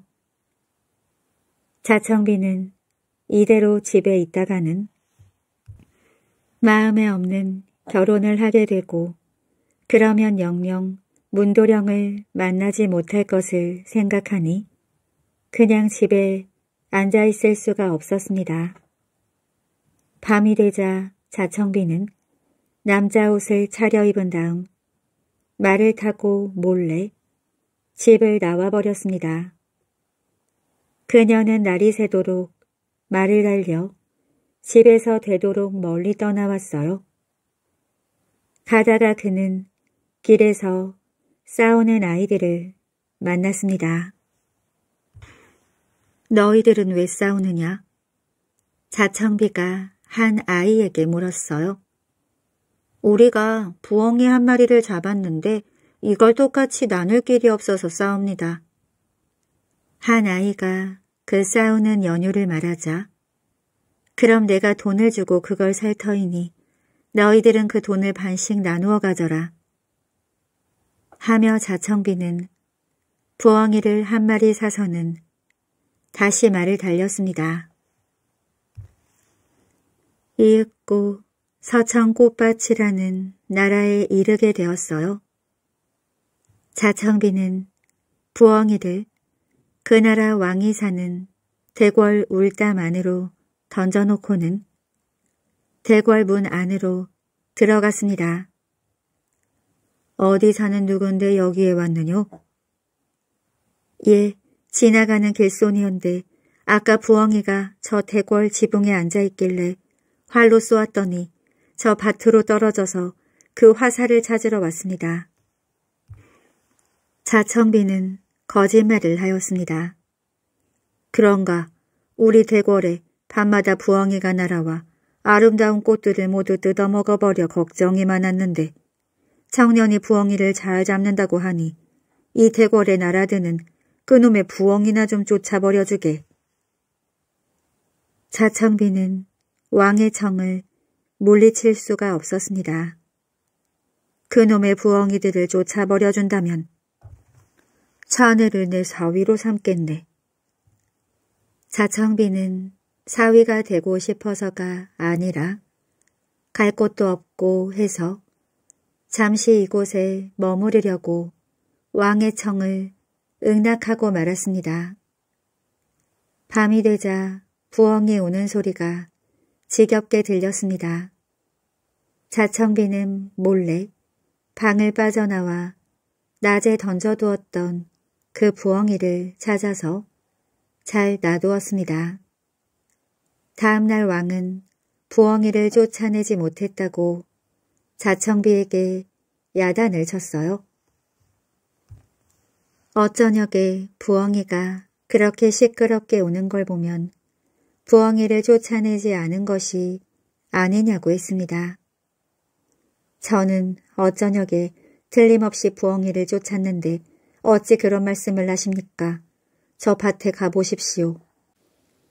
왕이 신하를 시켜 밭으로 나가보게 하니 과연 부엉이가 화살에 맞아 죽어 있었습니다. 왕은 자청비를 칭하면서 처음 약속한 대로 막내딸과 혼인을 시켰습니다. 자청비는 그곳에서 석 달 열흘을 지냈어요. 그러는 동안에도 그는 공주와 한 번도 가까이 지내지 않았습니다. 과거를 준비하는 동안은 되도록 떨어져 지내자고 결혼 첫날 밤에 약속하였던 것입니다. 그렇게 지내던 자청비는 아무래도 자기의 본색이 달로 날까 봐서 그곳을 떠나기로 작정하였습니다. 과거를 보러 간다고 거짓말을 하고는 대궐을 나왔습니다. 서천 꽃밭을 떠나올 때 그는 그 꽃밭에 들어가 여러 가지 꽃들을 따들고 나왔습니다. 그 중에는 죽은 사람을 살리는 꽃도 있었어요. 막내 공주가 먼 길을 가는 그에게 필요할지도 모르니 준비해 가지고 가라고 일러준 꽃들이었습니다. 그는 막상 그곳에 나왔으나 갈 곳이 없었습니다. 그래서 결국 다시 고향으로 돌아갔어요. 그러나 집에서는 그를 받아주지 않았습니다. 이미 부모를 버리고 떠난 딸은 자식이 아니라 하여 대문 안을 들어가 보지도 못하고 나와야 했습니다. 그는 다시 정처 없이 무작정 걸었습니다. 걷다가 지쳐서 그냥 길가에 쓰러져 울고 있는데 어디선가 배 짜는 소리가 들렸습니다. 그 소리를 따라가 보니 어떤 노파가 배를 짜고 있었습니다. 지나가는 사람이 온데 잠깐 머물러 가게 해주십시오. 자청비는 배고프고 지치기도 하여서 사정하였습니다. 노파는 기꺼이 응낙하였지요. 자청비는 그 집에서 며칠을 지내는 동안 그 노파와 정이 들었습니다. 그래서 노파의 수양달이 되었지요. 노파는 매일매일 쉬지 않고 고운 비단을 짜고 있었습니다. 어머님, 저 비단은 무엇에 쓸 것입니까? 저 비단은 하늘나라 문도령이 장가갈 때쓸 것이다.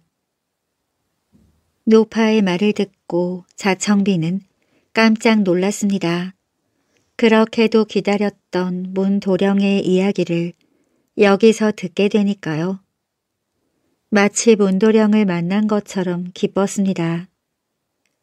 그래서 자청비는 노파가 비단을 짜는 동안 몰래 비단 끝에 자청비가 짠 비단임 이란 글자를 새겨 놓았습니다. 비단을 모두 짜자 노파가 그것을 가지고 하늘나라로 가게 되었습니다. 자청비는 문도령과의 사연을 그 노파에게 말하였어요. 비단을 갖고 하늘나라에 간 노파는 문도령에게 자청비의 이야기를 하였습니다. 문도령도 자나깨나 잊지 못하던 자청비인지라 노파의 이야기를 듣자 반갑지 않을 수 없었습니다. 문도령은 즉시 자청비를 찾아 노판의 집으로 내려왔습니다. 문도령이 오고 있다는 소식을 들은 자청비는 한없이 반갑기는 하였으나 생각하니 야속하기도 하였습니다. 그래서 맞을 준비도 않고 문을 걸고 방 안에 틀어박혀 있었습니다. 자청비야 문 좀 열어라. 나 문도령이다. 자청비는 하도 반가워 문을 확 열고 나가 얼싸안고 싶었으나 참았습니다. 문도령인지 아닌지 믿을 수 없으니 창틈으로 손을 들이밀어 보십시오. 문도령은 약 오르게 하고 싶었습니다.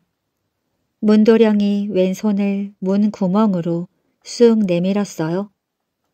그 흰 손을 본 자청비는 반갑기 그지 없었지만 일부러 바늘로 콕 찔러버렸습니다. 그러자 문도령은 화를 버럭 내면서 하늘로 다시 올라가 버렸어요. 자청비는 후회하였으나 별 도리가 없었습니다. 노파도 화를 냈어요. 훌륭한 사위를 얻을까 해서 잔치를 차리는 마음으로 준비하였는데 그만 문도령이 화를 내고 올라가 버렸으니 화를 낼 만도 하였습니다. 집에서 쫓겨나다시피 나온 자청비는 갈 곳이 없었어요. 할 수 없이 그는 이 집저집 다니면서 동냥을 하지 않으면 안 되었습니다. 그렇게 돌아다니며 동냥을 하는데 어느 날 길가에 앉아서 울고 있는 하늘나라 선녀들을 만났습니다. 오는 것이 하도 처량하여 너희들은 왜 그렇게 슬프게 우니? 하고 물었습니다. 저희들은 하늘나라 선녀들인데 우리 왕자님께서 그 옛날 인간 세상에 내려왔다가 자청비란 예쁜 처녀와 사랑을 했던가 봅니다. 그 처녀와 같이 그 공부를 갔다 오다가 함께 목욕을 했던 냇물을 떠오라는 명을 받았습니다. 하지만 우리가 어떻게 그곳을 찾을 수 있겠습니까? 그래서 이렇게 울고 있습니다. 자청비는 자기도 함께 하늘나라로 데려다 준다는 약속을 받고서 그 냇물을 가르쳐 주었습니다. 자청비는 그 냇물을 떠주고 선녀들과 같이 하늘나라로 올라갔습니다. 문도령과 만나게 된 자청비는 그동안 쌓이고 쌓였던 이야기들을 나누었습니다. 그러나 하늘나라에서도 그들의 사랑을 그대로 받아주질 않았어요. 우선 문도령네 집에서 반대하였습니다. 어떻게 땅에 사는 여인과 혼사를 시키겠느냐는 것이었지요. 그때 문도령이 몹쓸 병에 걸려 눕고 말았습니다. 하늘나라 모든 의원들이 다 동원되어 그의 병을 치료하였으나 모두 헛수고였습니다. 결국 문도령은 죽고 말았어요. 하늘나라에서는 야단이 났습니다. 그때 자청비는 그 서천 꽃밭에서 꺾어온 꽃이 생각났습니다. 제가 도련님을 살려놓겠습니다. 자청비는 옥황상제에게 아뢰고 그 꽃으로 죽은 문도령의 얼굴 위를 살살 쓸어 주었습니다. 뻣뻣했던 문도령의 살빛에 차차 생기가 돌더니 얼굴에는 잔잔한 웃음 같은 것이 번지기 시작하였습니다. 그러더니 그는 살아났어요. 하늘나라에서는 큰 잔치가 벌어졌습니다. 결국 문도령과 자청비는 결혼을 하게 되었습니다. 그렇게 행복한 나날이 계속되었는데 어느 날 갑자기 자청비는 저 아래 세상이 그리워졌습니다. 하늘나라의 행복한 생활보다도 좀 고통이 따르더라도 땅으로 내려가고 싶었어요. 땅으로 내려가겠다고 남편에게 말하자 문도령은 펄쩍 뛰었습니다. 우리가 얼마나 어렵게 다시 만났는데 또 헤어져야 한단 말이오. 그러나 자청비는 남편의 만류에도 하늘나라에 남아있을 수 없었습니다. 기어이 내려가겠다고 고집을 하자 떠나는 너에게 선물을 하나 하겠다고 옥황상제가 말했습니다. 그러자 자청비는 아무것도 필요 없습니다. 단 곡식 씨앗이나 주셨으면 고맙겠습니다. 그렇게 자청비는 금은보화도 다 사양하고 여러 곡식 씨앗을 얻어 땅으로 내려왔습니다. 그래서 세상 사람들에게 곡식을 심어 살아가도록 하였지요. 그래서 자청비는 농사를 맡은 신이 되었다고 합니다. 오늘도 이야기 재미있게 잘 들으셨나요? 옛날 이야기는 사람들의 입과 입을 통해 이야기가 바뀌거나 부풀리기도 하며 전해져 내려옵니다. 그러면서 믿기 힘들거나 황당한 이야기로 바뀌기도 하지요. 그래서 우리는 보통 옛날 이야기는 만들어진 이야기라고 생각합니다. 하지만 그 중에서는 실제 옛날 이야기를 바탕으로 한 동상이나 기념비가 세워져 있는 곳도 있습니다. 그렇지만 결국은 사실인지 아닌지는 중요하지 않을 것입니다.